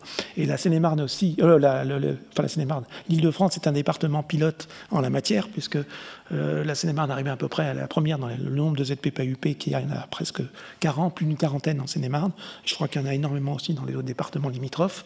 Et ce sont des zones donc intelligentes qui vont, le périmètre de 500 mètres donc va être remplacé par une zone qui va être définie entre ce, ce que l'on voit quand on arrive dans le village et ce qu'on voit quand on est dans le village. Et ça, c'est très intéressant. Le, elles portent leur nom de zone du patrimoine architectural, urbain et paysager, paysager qui est très important, et qui elles-mêmes viennent d'être remplacées par les APAV, parce que dans tout ça, il y a des tas de termes techniques qui sont les aires de mise en valeur euh, du patrimoine urbain euh, et architectural, euh, qui est à peu près la même chose, sauf que euh, disons, on va évoluer vers quelque chose encore où le, paysage va être mieux, pris en, compte. Et surtout, on veut que, ces, politiques, c'est comme dans les secteurs sauvegardés, euh, ne soient pas trop traditionnels, c'est qu'un mettre en avant l'économie locale et qu'on développe aussi l'économie des, villages, qu'on n'arrive pas dans des structures réglementaires trop rigides qui vont plus permettre euh, aux touristes de développer, aux fermes d'être reconvertis, etc., qui permettent plus de liberté à ce niveau-là. La création des communautés de communes, j'en ai en parlé, c'est extrêmement important parce que chaque commune voulait faire sa petite salle polyvalente, avoir sa, petite piscine, avoir son, club de tennis. Et maintenant, le regroupement des communautés de pays, euh, intéressant parce que là, on est vraiment à l'échelle du pays, et qui ont des moyens relativement importants. Euh, ça on va le voir euh, au point de vue financier. Et puis les CAUE, qu'il faut aussi, qui ont eu un rôle important, la création des CAUE qui date de, en fait de, 1967 sur la loi de l'architecture, qui vont eux aussi jouer un rôle important, surtout dans l'intégration de, de, l'architecture un peu qu'on peut appeler contemporaine dans le milieu rural. Bon, évidemment, il y a tous les, je ne citerai pas les, missions d'inventaire de la DRAC, qui ont été euh, très importantes aussi, mais qui ont été encouragées. Dans les années 80, il y a eu un grand élan pour le patrimoine rural à cause des arts et traditions populaires, et on a protégé, on a commencé à protéger du petit patrimoine rural. Euh, en, Seine-et-Marne, par exemple, on n'a aucun lavoir de protéger au titre du patrimoine rural. On a eu deux, trois moulins qui ont été protégés, inscrits ou classés au titre de l'inventaire. On a un four à chaud qui a été protégé, c'est-à-dire quasiment rien au niveau de la protection du patrimoine rural. vous me direz, ces petits monuments se trouvent souvent dans des périmètres même d'églises, donc sont protégés euh, par intermédiaire. Mais disons que la protection du petit patrimoine rural est, une chose. Alors la Fondation du patrimoine a donné un sorte de label, ça c'est important, qui permet d'aider effectivement, parce que ce patrimoine, euh, dès qu'il est plus communal, il, est très mal aidé. Hein. On a un politique en France et en région, c'est que les communes sont extrêmement euh, aidées, alors que les privés le sont très peu. Et la Fondation du patrimoine a été un peu dans ce sens-là. Le problème, c'est qu'elle bute sur quelque chose, c'est que les agriculteurs, parce que la, Fondation Patrimoine, c'est avant tout une défiscalisation. Hein, c'est la même chose qu'en matière de monuments historiques, un peu pour les privés. C'est intéressant si parce qu'on peut défiscaliser. Donc ça touche une clientèle quand même soit aisée, donc ça ne touche pas les petites maisons, les gens qui sont modestes, qui ont des petites maisons rurales. Et ça ne touche pas non plus les agriculteurs parce que eux-mêmes, les déficits fonciers de leur, de leur ferme, etc., ils n'ont aucun intérêt. Et comme ça repasse par les architectes des bâtiments de France, parce que ce sont les seuls qui ont un peu une compétence à, gérer le problème, les gens ont un petit peu peur en disant encore ça va être administration, vers euh, du temps, etc. Euh, ça va être long à mettre en œuvre, je préfère pas avoir de subvention et faire ce que je veux dans mon coin. Donc euh, il y a un blocage au niveau quand même du subventionnement du patrimoine rural important, du petit patrimoine rural et du, privé actuellement. Alors voilà le, type de ZPPIP qui est très intéressante, euh, qui, est en fait la, forme ou d'APAV, si on veut, euh, qui permet de répertorier, en fait, alors ça, ça on fait, c'est fait, c'est un architecte qui, va s'en occuper urbaniste, qui va aller plus ou moins loin. Mais ça permet de repérer les puits, de repérer un pavage, de repérer même une petite lucarne intéressante. On peut aller jusqu'au détail, ça dépend. Et euh, la, matière des matériaux de couverture, euh, la manière dont sont faits les mailles plantées, parce que c'est extrêmement important de conserver les, aussi bien sur le plan paysager qu'architectural, de voir tout ce qu'il y a d'intéressant d'une maison à protéger, une petite maison. Alors on la protège pas au titre des monuments historiques, mais on la répertorie. Alors il n'y a pas de pouvoir, évidemment, après euh, pour la conserver comme ça, mais on incite quand même quand il y a la commune a des services, même aussi que soit-il d'urbanisme un peu conséquent, elle dit bah, attention cette maison, on va demander l'avis à telle personne, à un architecte conseil du CAUE, à ABF, pour savoir si le village n'est pas protégé. Pour, euh, pour, euh, on la répertorie. Je crois déjà le fait de répertorier ces choses est un point important parce que les gens prennent conscience. Ils disent tiens j'ai quelque chose d'intéressant chez moi. Ils sont quelquefois fiers. Au début ils sont plutôt embêtés, mais après ils sont fiers. Ils ont dit tiens j'ai une petite lucarne qui est répertoriée dans la ZPPUP, etc. Donc ça va quand même dans le bon sens. Alors, euh, euh, l'avantage aussi, c'est qu'on informatise maintenant les cadastres et que les communes peuvent gérer euh, l'évolution de ça de manière précise. On peut savoir quand il y a une pattes, chaque travaux qui ont été faits, on peut l'intégrer dans un plan informatisé. C'est un certain travail, c'est ce qu'on appelle les, les, SIG, etc., mais qui se fait de plus en plus facilement et qui est très utile pour gérer les bâtiments comme on gère l'entretien d'un immeuble. Alors l'analyse, là, c'est l'analyse du parcellaire, est très très intéressante aussi. On est toujours dans le, côté urbain après, euh, euh, urbanisme. Après, on va s'intéresser à l'architecture proprement dite, parce que la maison, euh, on ne pouvait pas la traiter si on ne traite pas ce qu'il y a autour. Une maison rurale, si on enlève tout ce qu'elle a autour, c'est son environnement, si on lui enlève son potager, si on lui enlève son parcellaire, etc., ou on construit une maison neuve à côté, elle n'a plus d'existence, ça devient une espèce d'objet muséographique inerte qui, qui, qui, qui peut être conservé, mais qui n'a aucun intérêt puisque la maison rurale est avant tout fonctionnelle, est avant tout faite pour être utilisée. Ce n'est pas du patrimoine monumental, c'est du patrimoine fait pour être utilitaire, ça ne faut pas l'oublier.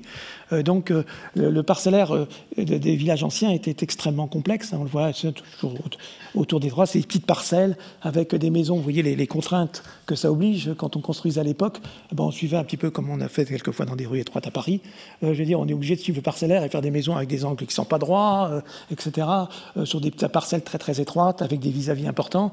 Et en général, ce qui sauvait un peu la chose, c'est qu'on faisait les maisons entre cour et jardin, c'est-à-dire qu'on avait un petit cour et puis un petit jardin derrière et qu'on était parallèles les uns aux autres, donc il n'y avait pas trop de gènes de voisinage, bien qu'il y en ait. Et ça, c'est un problème fondamental parce que dans les constructions actuelles, personne ne veut plus entendre parler de ça.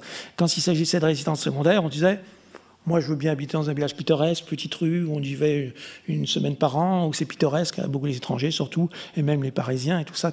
Quand on l'utilise deux fois par an, on accepte que la rue soit insalubre. On dit, bah, comme dans le Marais, c'est magnifique, on est dans une petite ruelle pittoresque. Mais pour y vivre tout le temps, euh, je veux dire, les gens qui vont à la campagne et s'éloignent de Paris, ils veulent du terrain, ils veulent être au milieu de leur terrain. Le rêve du français moyen, c'est d'avoir ma maison, ma clôture au milieu du terrain. C'est comme ça. Et ça, c'est un véritable problème à gérer. Donc, euh, au niveau de l'habitat, on verra que c'est difficile. Euh, le, problème, vous voyez, aussi des, architectes qui butent, on, dit oui, il faut regrouper les maisons, refaire comme avant. On voit bien que quand on fait un lotissement comme ça avant, on a beaucoup coupé les maisons, c'est une désolation. Euh, par contre, ici, c'est un petit essai dans un village de reconstruction, des constructions neuves qui ont été faites, qui étaient à la place d'une ancienne ferme. Ben, elle mérite de conserver le mur déjà de l'ensemble de la ferme, et puis d'y construire des maisons qui ne sont pas euh, bêtement implantées euh, les entre, avec leur peut-être quand même des terrains qui font 1500 mètres carrés, donc des terrains relativement conséquents. En face, on a le vieux village. Là, on a ce qu'on peut appeler le, nouveau village et qui est bien préservé à cause des clôtures et l'unité des matériaux de couverture. Tout ça est relativement traité. Ça, c'est grâce à, un petit peu à une ZP PAUP. Donc, on obtient des résultats d'ensemble dans maintenant dans des lotissements, qui est plus difficile au niveau individuel. Alors évidemment, le rêve français, comme je l'ai dit, c'est ça. Euh, ce qu'on trouve de moins en moins, c'est la maison plantée au milieu de son terrain, avec une clôture épouvantable parce qu'on veut marquer son territoire. Euh, on le voit ici en haut aussi. Euh, bon, bah, ça, ça les, les, maisons qui commencent à, s'implanter dans tous les sens, si bien qu'il y a des vis-à-vis épouvantables et c'est un morcellement du paysage insupportable. Heureusement, on en voit de moins en moins, justement à cause de tous ces règlements. Là, c'est amusant parce que, enfin, amusant, c'est plutôt dramatique. C'est dans un village qui est un petit peu au sud, tout à fait au sud de la Seine-et-Marne, qui, qui, qui était protégé on est là des 500 mètres. la maison qui était implantée. Le type s'est implanté là-haut, j'ai été discuter avec lui. Euh, euh, il m'a dit, moi non, je suis très bien, je vois le village, c'est magnifique, je suis pas avec les autres, j'ai pas les chiens du village, etc. Il avait des arguments absolument euh, formidables. Parce qu'effectivement, il est très bien, il dit, je suis ensoleillé, etc. Mon terrain m'a pas coûté plus cher, etc. Enfin, tout ce qu'on peut trouver. je ne savais pas exactement quoi dire, parce que j'avais rien à dire. Mais n'empêche que le type, il a détruit tout, le village. Quoi. Donc, ce qu'il faut dire que quand on veut vivre dans un vieux village, il faut respecter les contraintes et c'est pas toujours facile. Donc il y a une espèce de compromis à trouver, euh, que les gens aient quand même dans les constructions nouvelles un peu de terrain ou euh, euh, dans, l'organisation du parcellaire pour qu'il n'y ait pas non plus de, trop de vis-à-vis parce qu'on est pays où il y a beaucoup de chiens et souvent quand on pénètre dans les villages, ben, de voisinage, des problèmes de voisinage qui ne sont pas forcément agréables à vivre.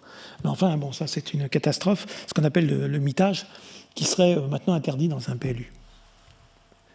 Il y a le problème des développements aussi des hangars agricoles qui automatiquement les fermes étaient, pas les grandes fermes, hein, les grandes fermes étaient isolées, euh, mais les petites fermes, il y a énormément de petites fermes euh, euh, dans, dans, les, dans, le centre des villages. Et puis pour des raisons effectivement de, d'accès, parce que malheureusement on a souvent détruit des porches comme ça pour faire passer le tracteur, etc. Et ces fermes se sont délocalisées, puis il y a la nuisance des gens qui, râlent contre l'odeur, etc., contre le bruit. Donc elles se sont souvent délocalisées en périphérie, et surtout elles ont provoqué la construction de hangars. Euh, ce qui est bien que quand on rentre souvent dans les pays, on voit des hangars, et des hangars qui sont souvent absolument immenses, dans une petite chapelle templière. On a une, euh, maison vous voyez, une, grange tout à fait traditionnelle avec une portée maximum de 8 mètres de largeur. Puis on voit ces énormes hangars qui sont complètement en échelle. Alors, ces problèmes des nouvelles infrastructures, euh, il est très important. Il était très important depuis les, années 70-80. c'est un problème difficile à gérer. Alors, évidemment, on peut employer des bardages bois, etc. Ça améliore un petit peu. Mais au niveau échelle, c'est catastrophique. Les infrastructures, on peut jouer très facilement avec la couleur. On a maintenant des paysagistes qui interviennent au niveau des colorations. Euh, et on voit très bien, là, c'est pas un bon exemple, hein, mais c'est pour montrer à quel point la couleur dans le paysage, à moindre coût, peut complètement modifier le paysage. On s'est aperçu, même certains architectes des bâtiments en France, on ne peut pas leur en vouloir, et je fais peut-être partie de cela, on disait il faut construire un petit peu les, les hangars comme des maisons avec des toits rouges et des, enduits blancs. Bon, ça date, hein. c'est tout à fait au début, on s'est aperçu que plus on avait des couleurs sombres, et plus on avait des couleurs qui se rapprochaient du paysage, même quitte à employer des bardages métalliques, plus on se fondait dans le paysage.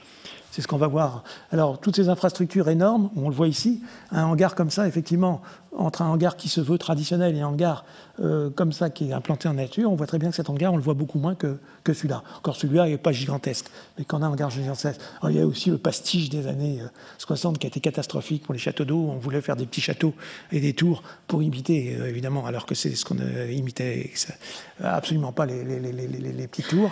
Et puis, tout ce problème des intégrations des grands grand silo à grains qu'on a en Beauce, en, Brie, etc., et des antennes de, radiotéléphone, où là, le, coloriste peut jouer un rôle important, avec des volumes élémentaires qui... On n'a plus d'échelle, là, on est dans des volumes tellement importants qu'on n'a plus de rapport d'échelle, et c'est peut-être pas plus mal, avec l'architecture traditionnelle. Et là, le problème d'antenne, alors là, on, on, met des ballons, maintenant on gonfle des petits ballons, moi je m'amusais à aller avec les, les, SFR, Bouygues et tout ça, on gonflait un petit ballon pour voir l'impact que ça avait au paysage. Parce que quand, on le voit, on le voit quelquefois pas à 2 km, mais on le revoit énormément à 8 km. Donc on, leur demande de gonfler un petit ballon à une certaine hauteur. Et on voit là qu'il y a eu un loupé, parce qu'effectivement, euh, euh, c'était vert normalement sur un fond de nature et, bleu sur le fond de ciel. Et effectivement, quand on change de perspective, ben, ça marche pas. Mais enfin, disons, on s'aperçoit qu'une couleur, c'est pas quoi choisir. Là. Euh, mais enfin, disons, c'est des problèmes d'intégration compliqués. Là aussi, il y a eu des efforts de fait d'intégration avec les, paysagistes. Là, une petite station d'épuration qui, est, très bien faite, où vraiment le végétal l'emporte vraiment sur le, minéral. C'est complètement fondu. Euh, là, c'est une station pétrolière dans un petit village à 200 mètres d'un village classé. Donc, dans les abords des 500 mètres des villages classés, euh, il y a eu pas mal de pétrole en Seine-et-Marne à Saint-Méry, euh, particulièrement et à Blandy. Et c'est une station de stockage qui été confiée à un, coloriste et on a évité le pire.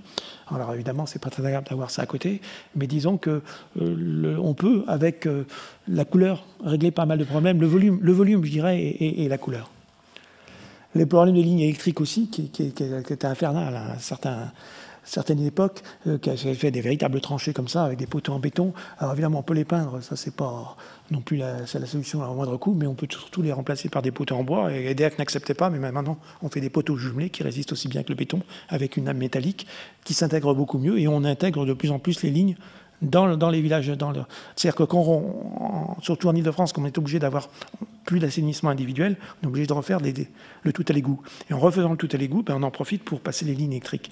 Et énormément de villages de l'Île-de-France, maintenant, euh, tous les villages qui ont un intérêt patrimonial, euh, donc on voit leur réseau totalement enterré, ce qui donne une image totalement différente des villages. La revalorisation des espaces publics aussi, très important. Alors je parle toujours d'urbanisme, je vais finir par les maisons, mais c'est important parce que c'est l'environnement proche de la maison rurale. On voit par exemple ici ce, petit puits qui a été conservé, euh, alors, euh, donc, euh, et qui permet de restructurer en fin de compte cette petite placette. Là ici c'est un pigeonnier avec sa petite meule à grains et tout ça. Ce sont des éléments très simples qui coûtent pas cher et qui ont permis, les communes ont pris une conscience que c'était un peu le genre de, mémoire collective qui est là, peut-être un petit peu trop muséographique, mais qui a permis de conserver à moindre coût les éléments. Alors les, contrats ruraux et les contrats régionaux sont une particularité de, la région Île-de-France extrêmement important puisque les contrats ruraux sont des, aides financières qui viennent de l'État, surtout du région et des départements et de l'État quand il s'agit de, monuments, des monuments sont à hauteur de 80% pour les contrats ruraux de subvention donc ce qui est absolument extraordinaire. Je crois que c'est baissé à 60% maintenant depuis l'année dernière dans les Yvelines. Mais 80% de subventions, c'est énorme en matière de financement public.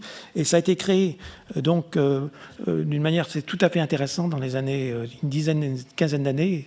Et toutes les mairies, en fait, ont, pu restaurer leur église, restaurer leur mairie, créer des salles polyvalentes. Parce que ces contrats ruraux qui s'adressent à des communes de moins de 2000 habitants, et je crois que l'échelle est bien, on passe après au contrat régional quand il y a au-dessus de 2000 habitants, euh, qui, était un type différent, on est déjà dans une architecture un peu plus urbaine, euh, ont permis, euh, avec ces subventions, d'encourager les maires à refaire des opérations cohérentes, c'est-à-dire on ne donnait pas les 300 000, c'était 300, 400 000 euros à peu près par, par, par contrat, et on obligeait les maires à faire en même temps le ravalement de leur église, la restructuration de leur place, mettre les réseaux enterrés. Ça permettait de faire des acquisitions foncières aussi, d'acheter une ferme, par exemple, qui était délaissée.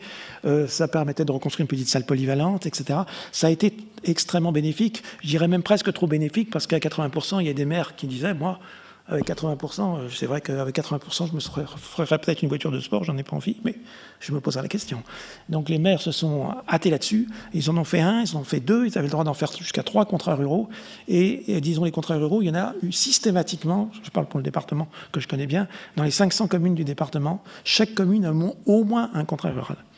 Donc ça, c'est un, enfin, un effort financier absolument considérable. Et ça a permis de, refaire, de restaurer, revaloriser le, centre des places et restructurer les, villages, parce que ces, villages étaient un peu désertés. Et en regroupant les éléments qui sont l'église, la mairie, la salle polyvalente, on a recréé une sorte de, collectif qui n'existait plus euh, euh, auparavant. On lui a redonné une certaine valeur architecturale. C'est fait quelquefois modestement. Là, on a l'école qui est juste à côté de la mairie, on a l'église, tout ça. Je veux dire, même traité simplement, parce qu'on pouvait faire avec ces, ruraux, évidemment du paysage aussi. On pouvait absolument faire ce qu'on voulait, en fin de compte, dans la mesure où c'était de la révélation. Il fallait trois opérations. Ça a permis aussi, euh, aussi d'intervenir au niveau. Alors ça, c'est le, niveau des plantations qui, était assez intéressant aussi.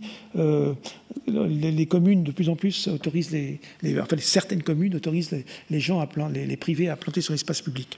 Et ça, ça, végétalise un peu parce que les maisons, quand même, avant, ils avaient leurs vignes, ils avaient toujours des, un petit potager, etc. Et là, en plantant sur l'espace public, on arrive à un minéral un peu moins sec.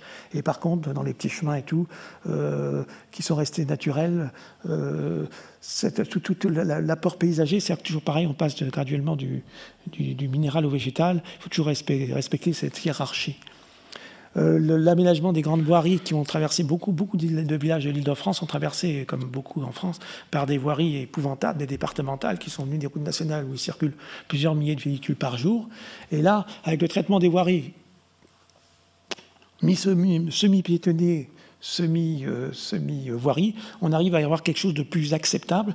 Moi, je vois le village à, côté de laquelle je vis, qui est totalement coupé par, par sa route en deux, euh, qui est une petite départementale, a retrouvé son âme du fait qu'on a essayé de recréer une rue un peu qui soit un peu une pas une place, mais, mais qui, permettent un peu d'oublier la, voiture, quoi, qui est une place pour le piéton.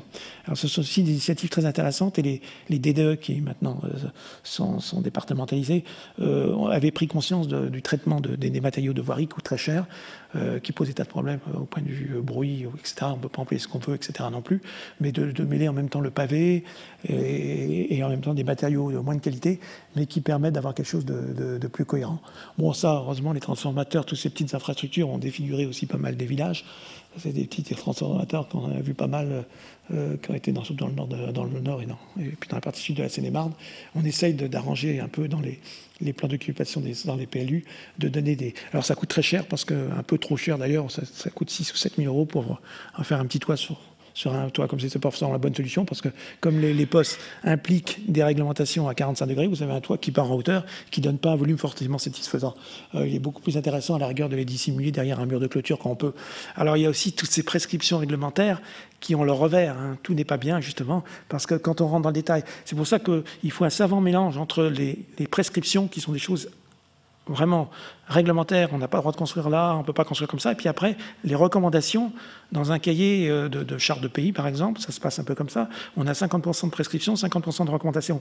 De façon que que, les, gens, on, les initie un petit peu d'eux-mêmes en leur disant attention, on leur montre des exemples, ne faites pas ça, mais vous n'êtes pas obligé de le faire. On les incite simplement à le faire. Parce qu'autrement, on arrive dans des situations complètement absurdes où on dit il faut s'accoler les uns aux autres. Et vous avez des maisons neuves qui s'accolent aux maisons anciennes. Euh, vous arrivez, il faut avoir telle distance d'opinion. Et en fait, ça tombe dans une situation, à chaque coup, l'architecture est fait de particularités. C'est l'eau par l'eau. Et quand vous appliquez les règles générales, vous arrivez à des absurdités totales. C'est-à-dire qu'on impose à la tuile plate, là où il y a des toits qui ne sont pas à 45 degrés, qui ont à 35 degrés, donc avec des fuites, on est obligé de faire des sous-couvertures. On dit il aura d'atules plate partout, mais on ne peut pas parce que c'est totalement euh, pas conforme au DTU. Euh, donc ça coûte une fortune. Pour, donc il faut trouver une certaine souplesse d'adaptation, et ça c'est au rôle de tous les acteurs de, de, donc de, ceux qui s'occupent d'architecture, d'urbanisme, et en contact avec les associations, bien entendu, qui ont un rôle extrêmement important. Euh, euh, euh, parce que les associations, je n'ai pas suffisamment parlé, parce que j'ai tendance à pas trop en parler parce que j'en fais partie, mais ont un rôle extrêmement important à ce niveau-là, et n'ont pas tellement de pouvoir, évidemment, sur le plan réglementaire, mais ils ont un énorme pouvoir sur le plan de la, la propulsion de, des recommandations, de ce qu'on peut faire et des exemples qu'on peut donner. Euh, ça, je crois qu'il y a eu un effort de ce côté-là. Euh, et il y a beaucoup de petites associations de villages, même à certaines échelles, bien que certaines soient un peu trop politisées, qui ont donné d'excellents résultats et qui, donnent beaucoup d'efforts. Et il y en aura de plus en plus qui vont se créer de la loi 1901. Il y a évidemment les très bonnes, les moins bonnes et les mauvaises, mais disons qu'en règle générale, c'est très positif. Et puis des petites choses comme ça qu'on voit dans les villages, qui sont des détails de rien du tout, comme la signalétique. Vous voyez, où la signalétique, euh, bon, il y a des petits artisans qui ont décidé dans le village, justement sous le, poids des associations, de dire bon, on va prendre des artisans pour faire des plaques de rue, etc. On a de la poterie, on va mettre des choses en, terre cuite, euh, on va mettre de la faïence, etc., qui vont donner un petit aspect qu'on a l'impression d'être fier de nouveau d'habiter le village. Parce que ce qui est important, c'est la fierté d'habiter là où on est. Et ces gens-là qui viennent de partout et d'ailleurs, euh, on ne peut pas leur en vouloir, mais ils viennent pour des raisons pratiques. Et quand ils sont fiers d'habiter quelque part, quand ils prennent conscience de leur patrimoine, après, ils réagissent un petit peu différemment. On ne peut pas imposer des choses. il faut les imposer pour éviter le pire, mais il faut qu'après, ça rentre que ça soit un débat avec les, villageois. C'est pas facile, mais c'est indispensable. Je crois que tout ça doit se faire d'une manière progressive. Et quand on impose aux gens, de toute façon, ça passe pas. Ils font ce qu'ils veulent. Ils achètent leur portail chez le roi Merlin d'occasion, etc. Parce qu'il y a des, a, automatiquement, euh, dès qu'il y a des, ventes moins chères ou des promotions, etc., ils vont acheter leur portail. Puis euh, l'architecte du bâtiment, quand on a demandé le portail, ben, on retrouvera son portail. Ils vont mettre des fenêtres en PVC et ils font ce qu'ils veulent. Et après, les conformités ne seront pas données, mais il n'y aura aucun effet sur le reste. L'éclairage public aussi, il y a un effort d'éclairage public intéressant avec les lanternes qui éclairent beaucoup moins que ces espèces d'éclairage public avant qu'on avait. L'éclairage des monuments aussi, des petits édifices, même des lavoirs. Quelquefois, il y a des expériences de, de lavoirs éclairés comme de la lumière de chandelle. Il y a eu beaucoup de progrès dans la mise en valeur lumineuse des monuments. Et puis, les, les églises aussi, qui sont un, des éléments fondamentaux du patrimoine rural, qui malheureusement en France, à l'étranger, on a des exemples absolument extraordinaires de, revalorisation des, des, édifices. Alors je dirais pas en Italie, il y a une émission récente où on disait qu'il y a des églises qui ont été transformées en boîte de nuit, hein, ou le marchand, je ne sais pas si vous avez vu l'émission, mais disons que dans, des pays comme l'Angleterre ou que dans des pays comme l'Allemagne, on a eu beaucoup d'églises qui ont été reconverties euh, euh, en lieux culturels. Et ça, je veux dire, euh, il doit y avoir un effort là-dessus et ça se fait peu à peu. Il y a beaucoup maintenant de. c'est quand même les, communes qui, qui, dépensent énormément hein, pour l'entretien des églises, que ça coûte très cher, qui se disent quand même ce lieu est de plus en plus désertifié, il faut quand même euh, l'utiliser.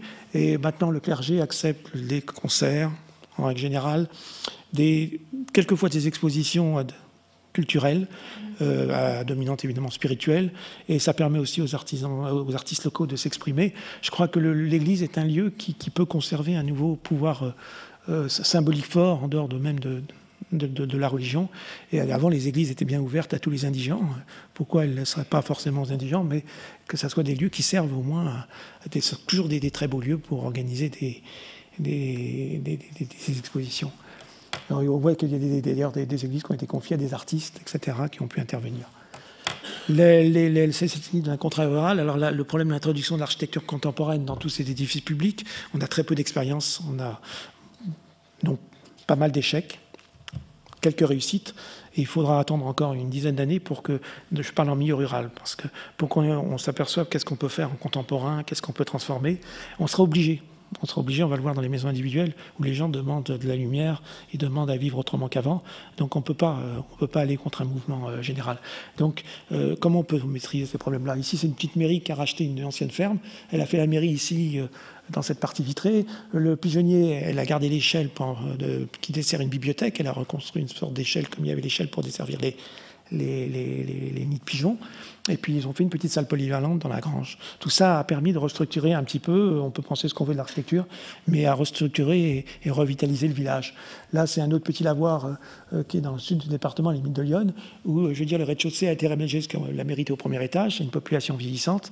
Bah, ça a permis, en fin de compte, de euh, d'accueillir les gens au rez-de-chaussée et de garder le bassin à l'intérieur euh, qui a été traité en, patio, tout en amenant une, architecture contemporaine qui, où les, les, jeunes, les jeunes euh, générations sont assez sensibles à ça, de vivre dans un, dans un village qui n'est pas uniquement tourné vers le passé, mais aussi euh, vers l'avenir. Euh, là, c'est la réimplantation dans, un village d'une grange, d'une ferme qui a été démolie. On a repris la grange, on l'a mis au milieu du village, on l'a retransplanté. Et c'est très, très utile parce que ça permet d'accueillir les, marchés et surtout les, les, les enfin, les vides-greniers, les brocantes et surtout les,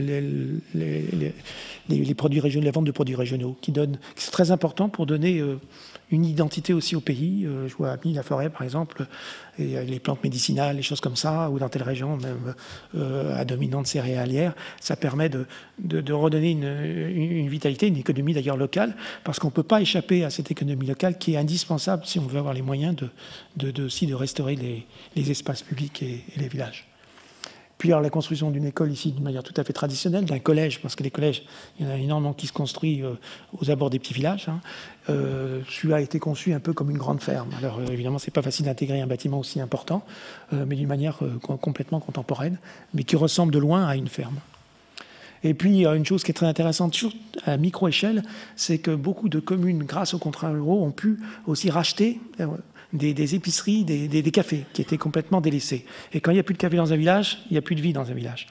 Et donc, euh, le fait de racheter euh, le, commerce, de le reconfier à des... C'est la commune qui est propriétaire. Elle le confie, elle le loue à un RMiste ou à un chômeur, et qui, lui, va faire une activité polyvalente. Ça se passe dans beaucoup de petits villages en Ile-de-France, euh, notamment dans les PNR, où ils ont beaucoup adossé ce principe-là, qui permet de faire une petite épicerie, de faire un café, de faire la vente de journaux et une petite banque postale, quelquefois, une petite où on peut aller déposer de l'argent, etc. Donc de regrouper ces petits services qui peuvent plus vivre en un seul lieu.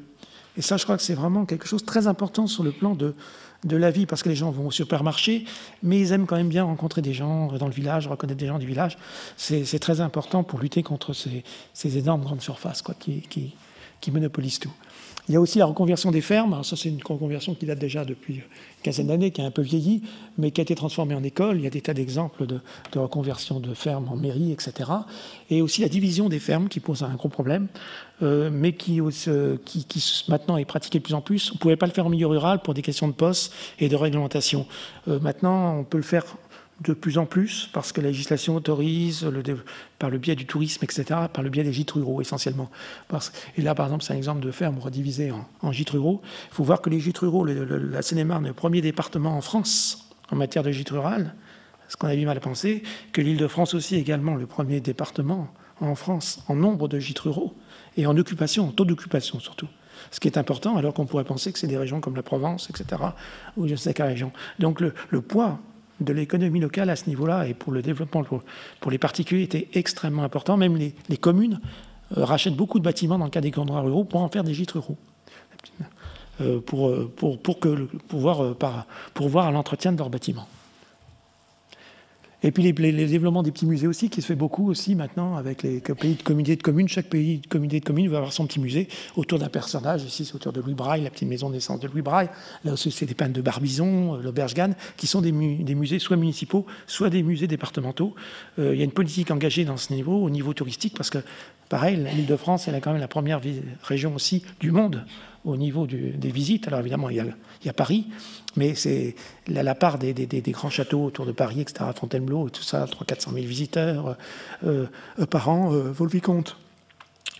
Pareil, attire autour un certain nombre de, gens qui vont développer l'économie locale, et c'est très important d'avoir de quoi les accueillir, etc., et leur montrer aussi de, faire des petits musées qui, sont des lieux de mémoire en fait de chacun de ces pays. Alors ça peut être les, moulins à vent maintenant sont quasiment tous restaurés en Ile-de-France, surtout en Beauce. Il n'y en a plus abandonnés. Ça c'est souvent sous l'initiative d'associations parce que ce sont des moulins qui effectivement coûtent un certain coût à restaurer avec des aides de subventions communales de la Fondation du patrimoine. Ça se passe assez bien. Il n'y a plus de moulins en ruine. Les moulins aussi, il n'y en a plus beaucoup en ruine, euh, qui sont quelquefois transformés en, en écomusée. Enfin, ça c'était le cas de ma propre maison que j'avais transformée moi-même en écomusée pendant 20 ans. Et puis euh, les fermes qui peuvent être transformées, alors habitat plus ou moins commercial, en golf, etc., euh, plus ou moins heureusement, mais qui permettent aussi de trouver une réutilisation et la reconversion de ces bâtiments.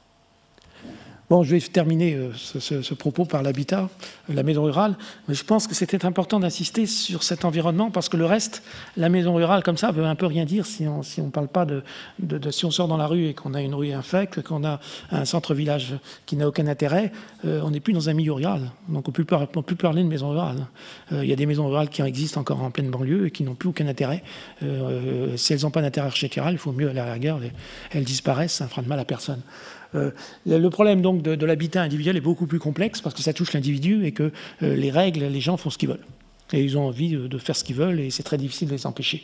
Et les ABF ont beaucoup, plus de facilité avec les promoteurs qui, construisent régulièrement et avec les, communes qui ont des moyens que les, privés qui n'ont pas beaucoup de, possibilités. Alors le, problème, le grand problème, c'est le problème des ouvertures. On voit déjà qu'à la fin du 19e siècle, il y a eu un, écart, un élargissement des ouvertures Ici, c'est déjà 1900, là, c'est la fin du 19e siècle, là, c'est 1920, 1930 dans les villages, et qu'on voit qu'on défigure, en fait, totalement les, les, villages rien qu'à cause des ouvertures, parce que là, on, a des, on est obligé de mettre des linteaux métalliques, employer des linteaux béton. Là, ça, c'est les mauvais revers de la technologie, de la technique, pas de la technologie, qu'il faut qu'on fait un peu ce qu'on veut maintenant avec les matériaux. Et il suffit de quelques. Cette évolution est, difficile à lutter parce que les gens veulent de la lumière, ils veulent habiter, ils veulent plus habiter avec de l'humidité, ils veulent des doublages dans leur maison, ils veulent habiter les combles, etc., euh, qui n'habitaient pas avant, donc créer des lucarnes. Ça pose un véritable problème, ça mène à des désastres parce qu'ils étendent leur maison. Enfin, on voit, euh, des choses épouvantables. Euh, évidemment, avec l'apparition, vous voyez ici, euh, ils ont créé une fenêtre en PVC avec un toit alors qu'ils avaient la porte chartière, qu'ils auraient pu très aisément créer une verrière à l'emplacement de la porte chartière. Évidemment, il y a toutes les fenêtres en PVC aussi qui remplacent le bois préfabriqué avec les carreaux qu'on les petits carreaux qu'on c'est pas qu'on essaye de, remplacer, etc. tout ça est, est, dramatique et on accuse les ABF d'être titilleux, mais le problème c'est que la jurisprudence est de plus en plus forte et quand vous acceptez quelque chose quelque part, tout de suite les gens viennent, ce qui venait au bureau me dire, mais vous avez accepté ça là, là et là, ils passaient tout leur week-end à prendre des photos de ce qu'on avait accepté ou pas accepté. Alors il y a beaucoup de choses qu'on avait évidemment pas acceptées, mais ça existait. Parce qu'une fois que c'est fait, on ne va pas aller appeler le juge, les juges sont peu sensibles à ça actuellement, il faut passer euh, deux ans pour essayer de... on ne donne pas la conformité, c'est tout. Et, ces petites choses que les gens ne comprennent pas individuellement, m'imposer ça et ça, des choses répétitives comme les Vélux ou les châssis de toit, enfin les châssis de toit qu'on appelle Vélux, si on accepte une dimension euh, importante, l'autre va dire mais pourquoi moi je ne ferais pas un Vélux comme ça? Et ça va être multiplié par 100 à l'échelle d'un village. Donc ça va défigurer un village. Qui défigure pas une maison en soi peut défigurer un village. Donc c'est difficile à faire comprendre ça, mais c'est important et c'est un petit peu ingrat. Euh, vous voyez là aussi les, fenêtres, là, dans une maison comme ça, comme une fenêtre a pu défigurer à gauche, en haut, euh, la maison. Oh, bah, ça, je repasse en arrière. Alors, que je disais tout à l'heure, euh, on peut utiliser ces verrières, de, ces, ces, portes de, grange, on pourrait en faire des, ateliers type artiste avec des vitrages relativement importants, parce que les gens font beaucoup de duplex dans ces granges, ils utilisent toute la hauteur. Donc, pareil pour les lucarnes. Euh, alors, les lucarnes, ça va être un problème, parce qu'on aménage des combles qui n'étaient pas aménagés. Il n'y avait pas qu'une lucarne par habitant, maintenant on en fait 4, 5. On veut évidemment aménager chaque chambre, on fait 5 chambres dans les combles.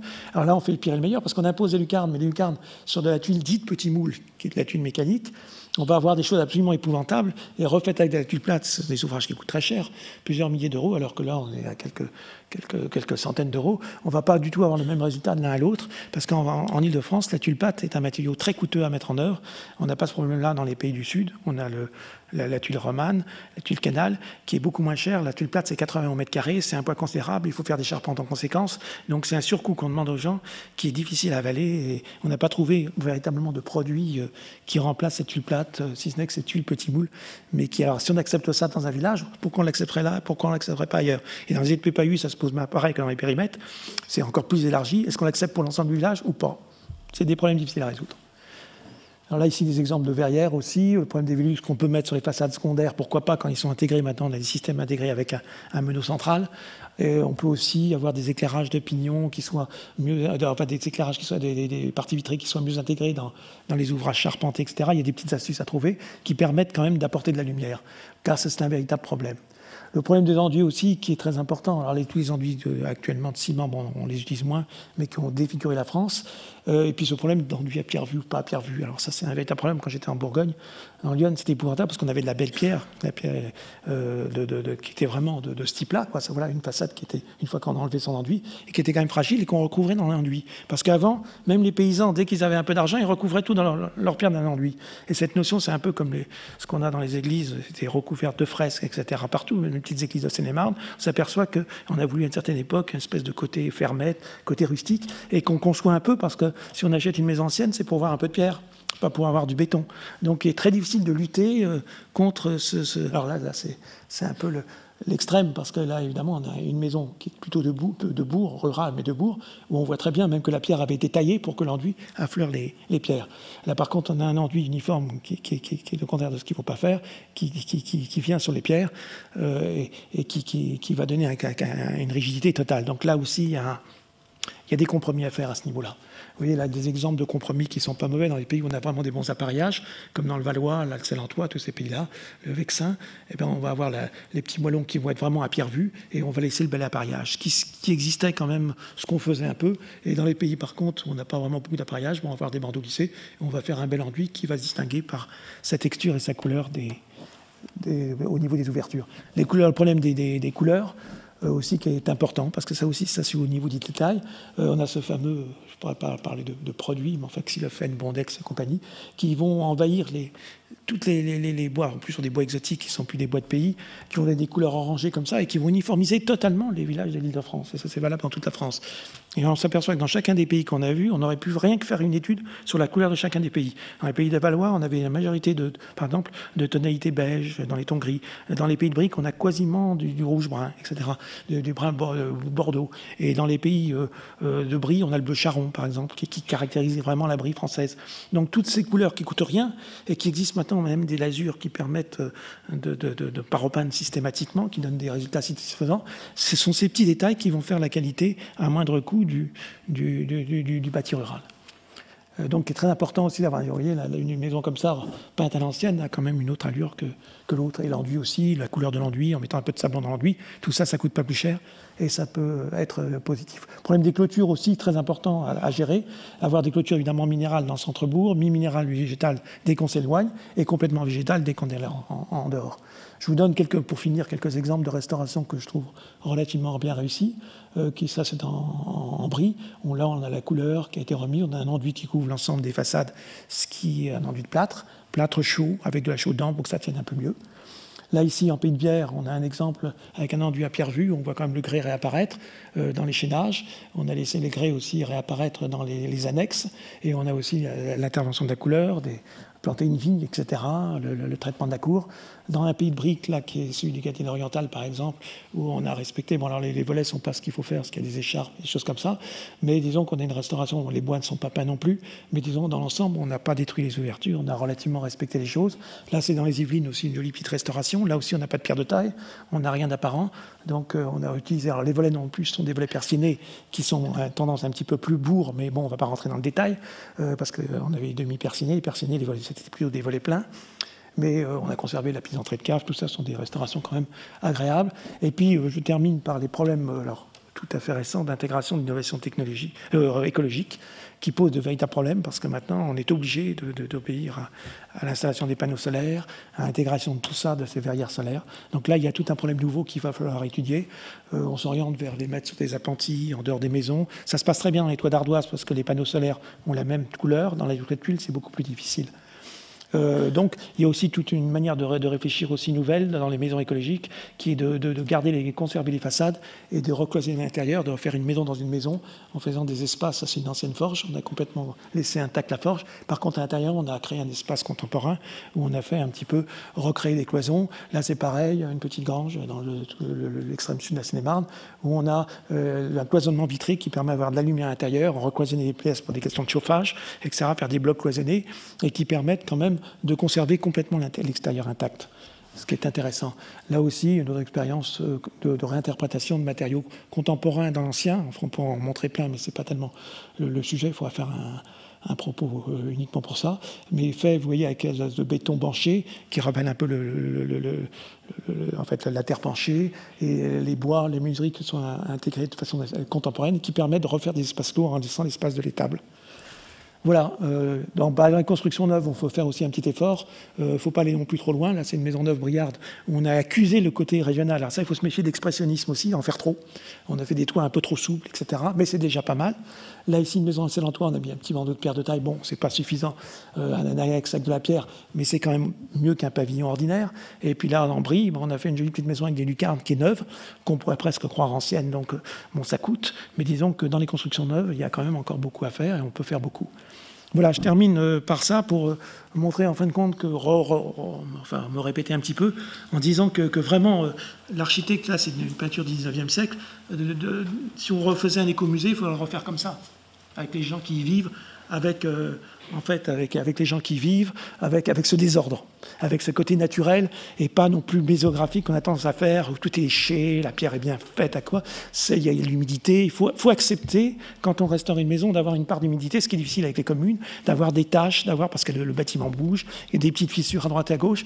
il faut que cette vie, qui, qui, qui est à la base, cette vie agricole, et même s'il n'est plus agricole, mais qui est rurale, qui est à la base de ces maisons, soit en fin de compte que cette réalisation d'occupation de la maison euh, l'emporte sur l'esthétique. L'esthétique, après, n'est que les résultats de, la rationalité et de la simplicité, c'est-à-dire de faire le mieux avec le moins. Et ça, je crois que c'est très important de conserver cet espace vivant, aussi bien au niveau de l'habitat que du village. Je vous remercie, j'ai peut-être été un peu trop long. Excusez-moi. Merci.